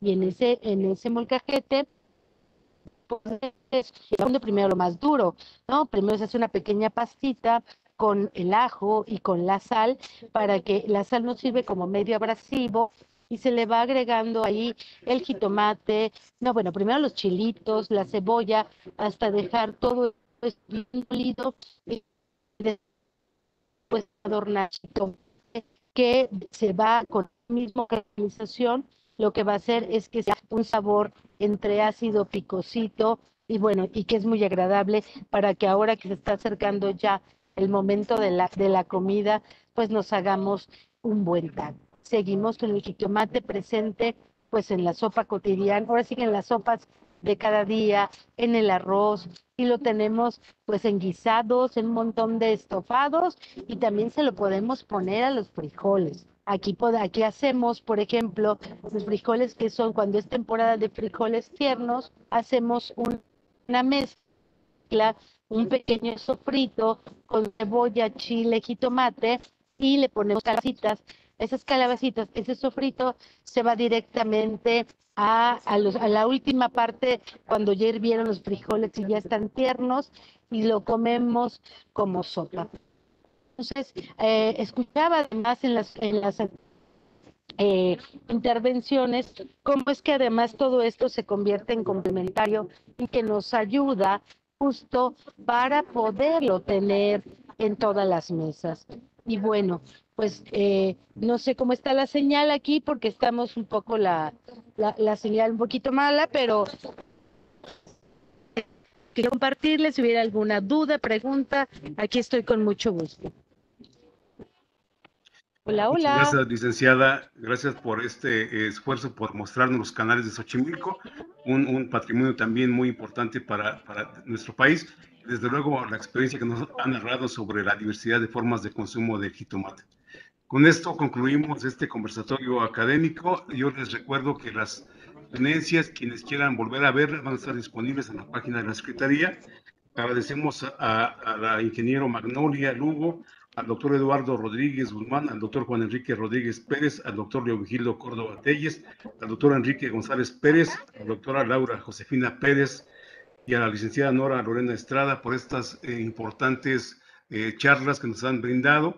Agradecemos mucho las reflexiones, los aportes que, nos han eh, podido aportar a esta, a esta reflexión y a este evento titulado Nuestra riqueza, el jitomate, Agradecemos también a los organizadores, a la Oficina de Memoria Histórica y Cultural de la Presidencia, a la Lotería Nacional. Les recuerdo que compren su boleto para este domingo 27 de marzo.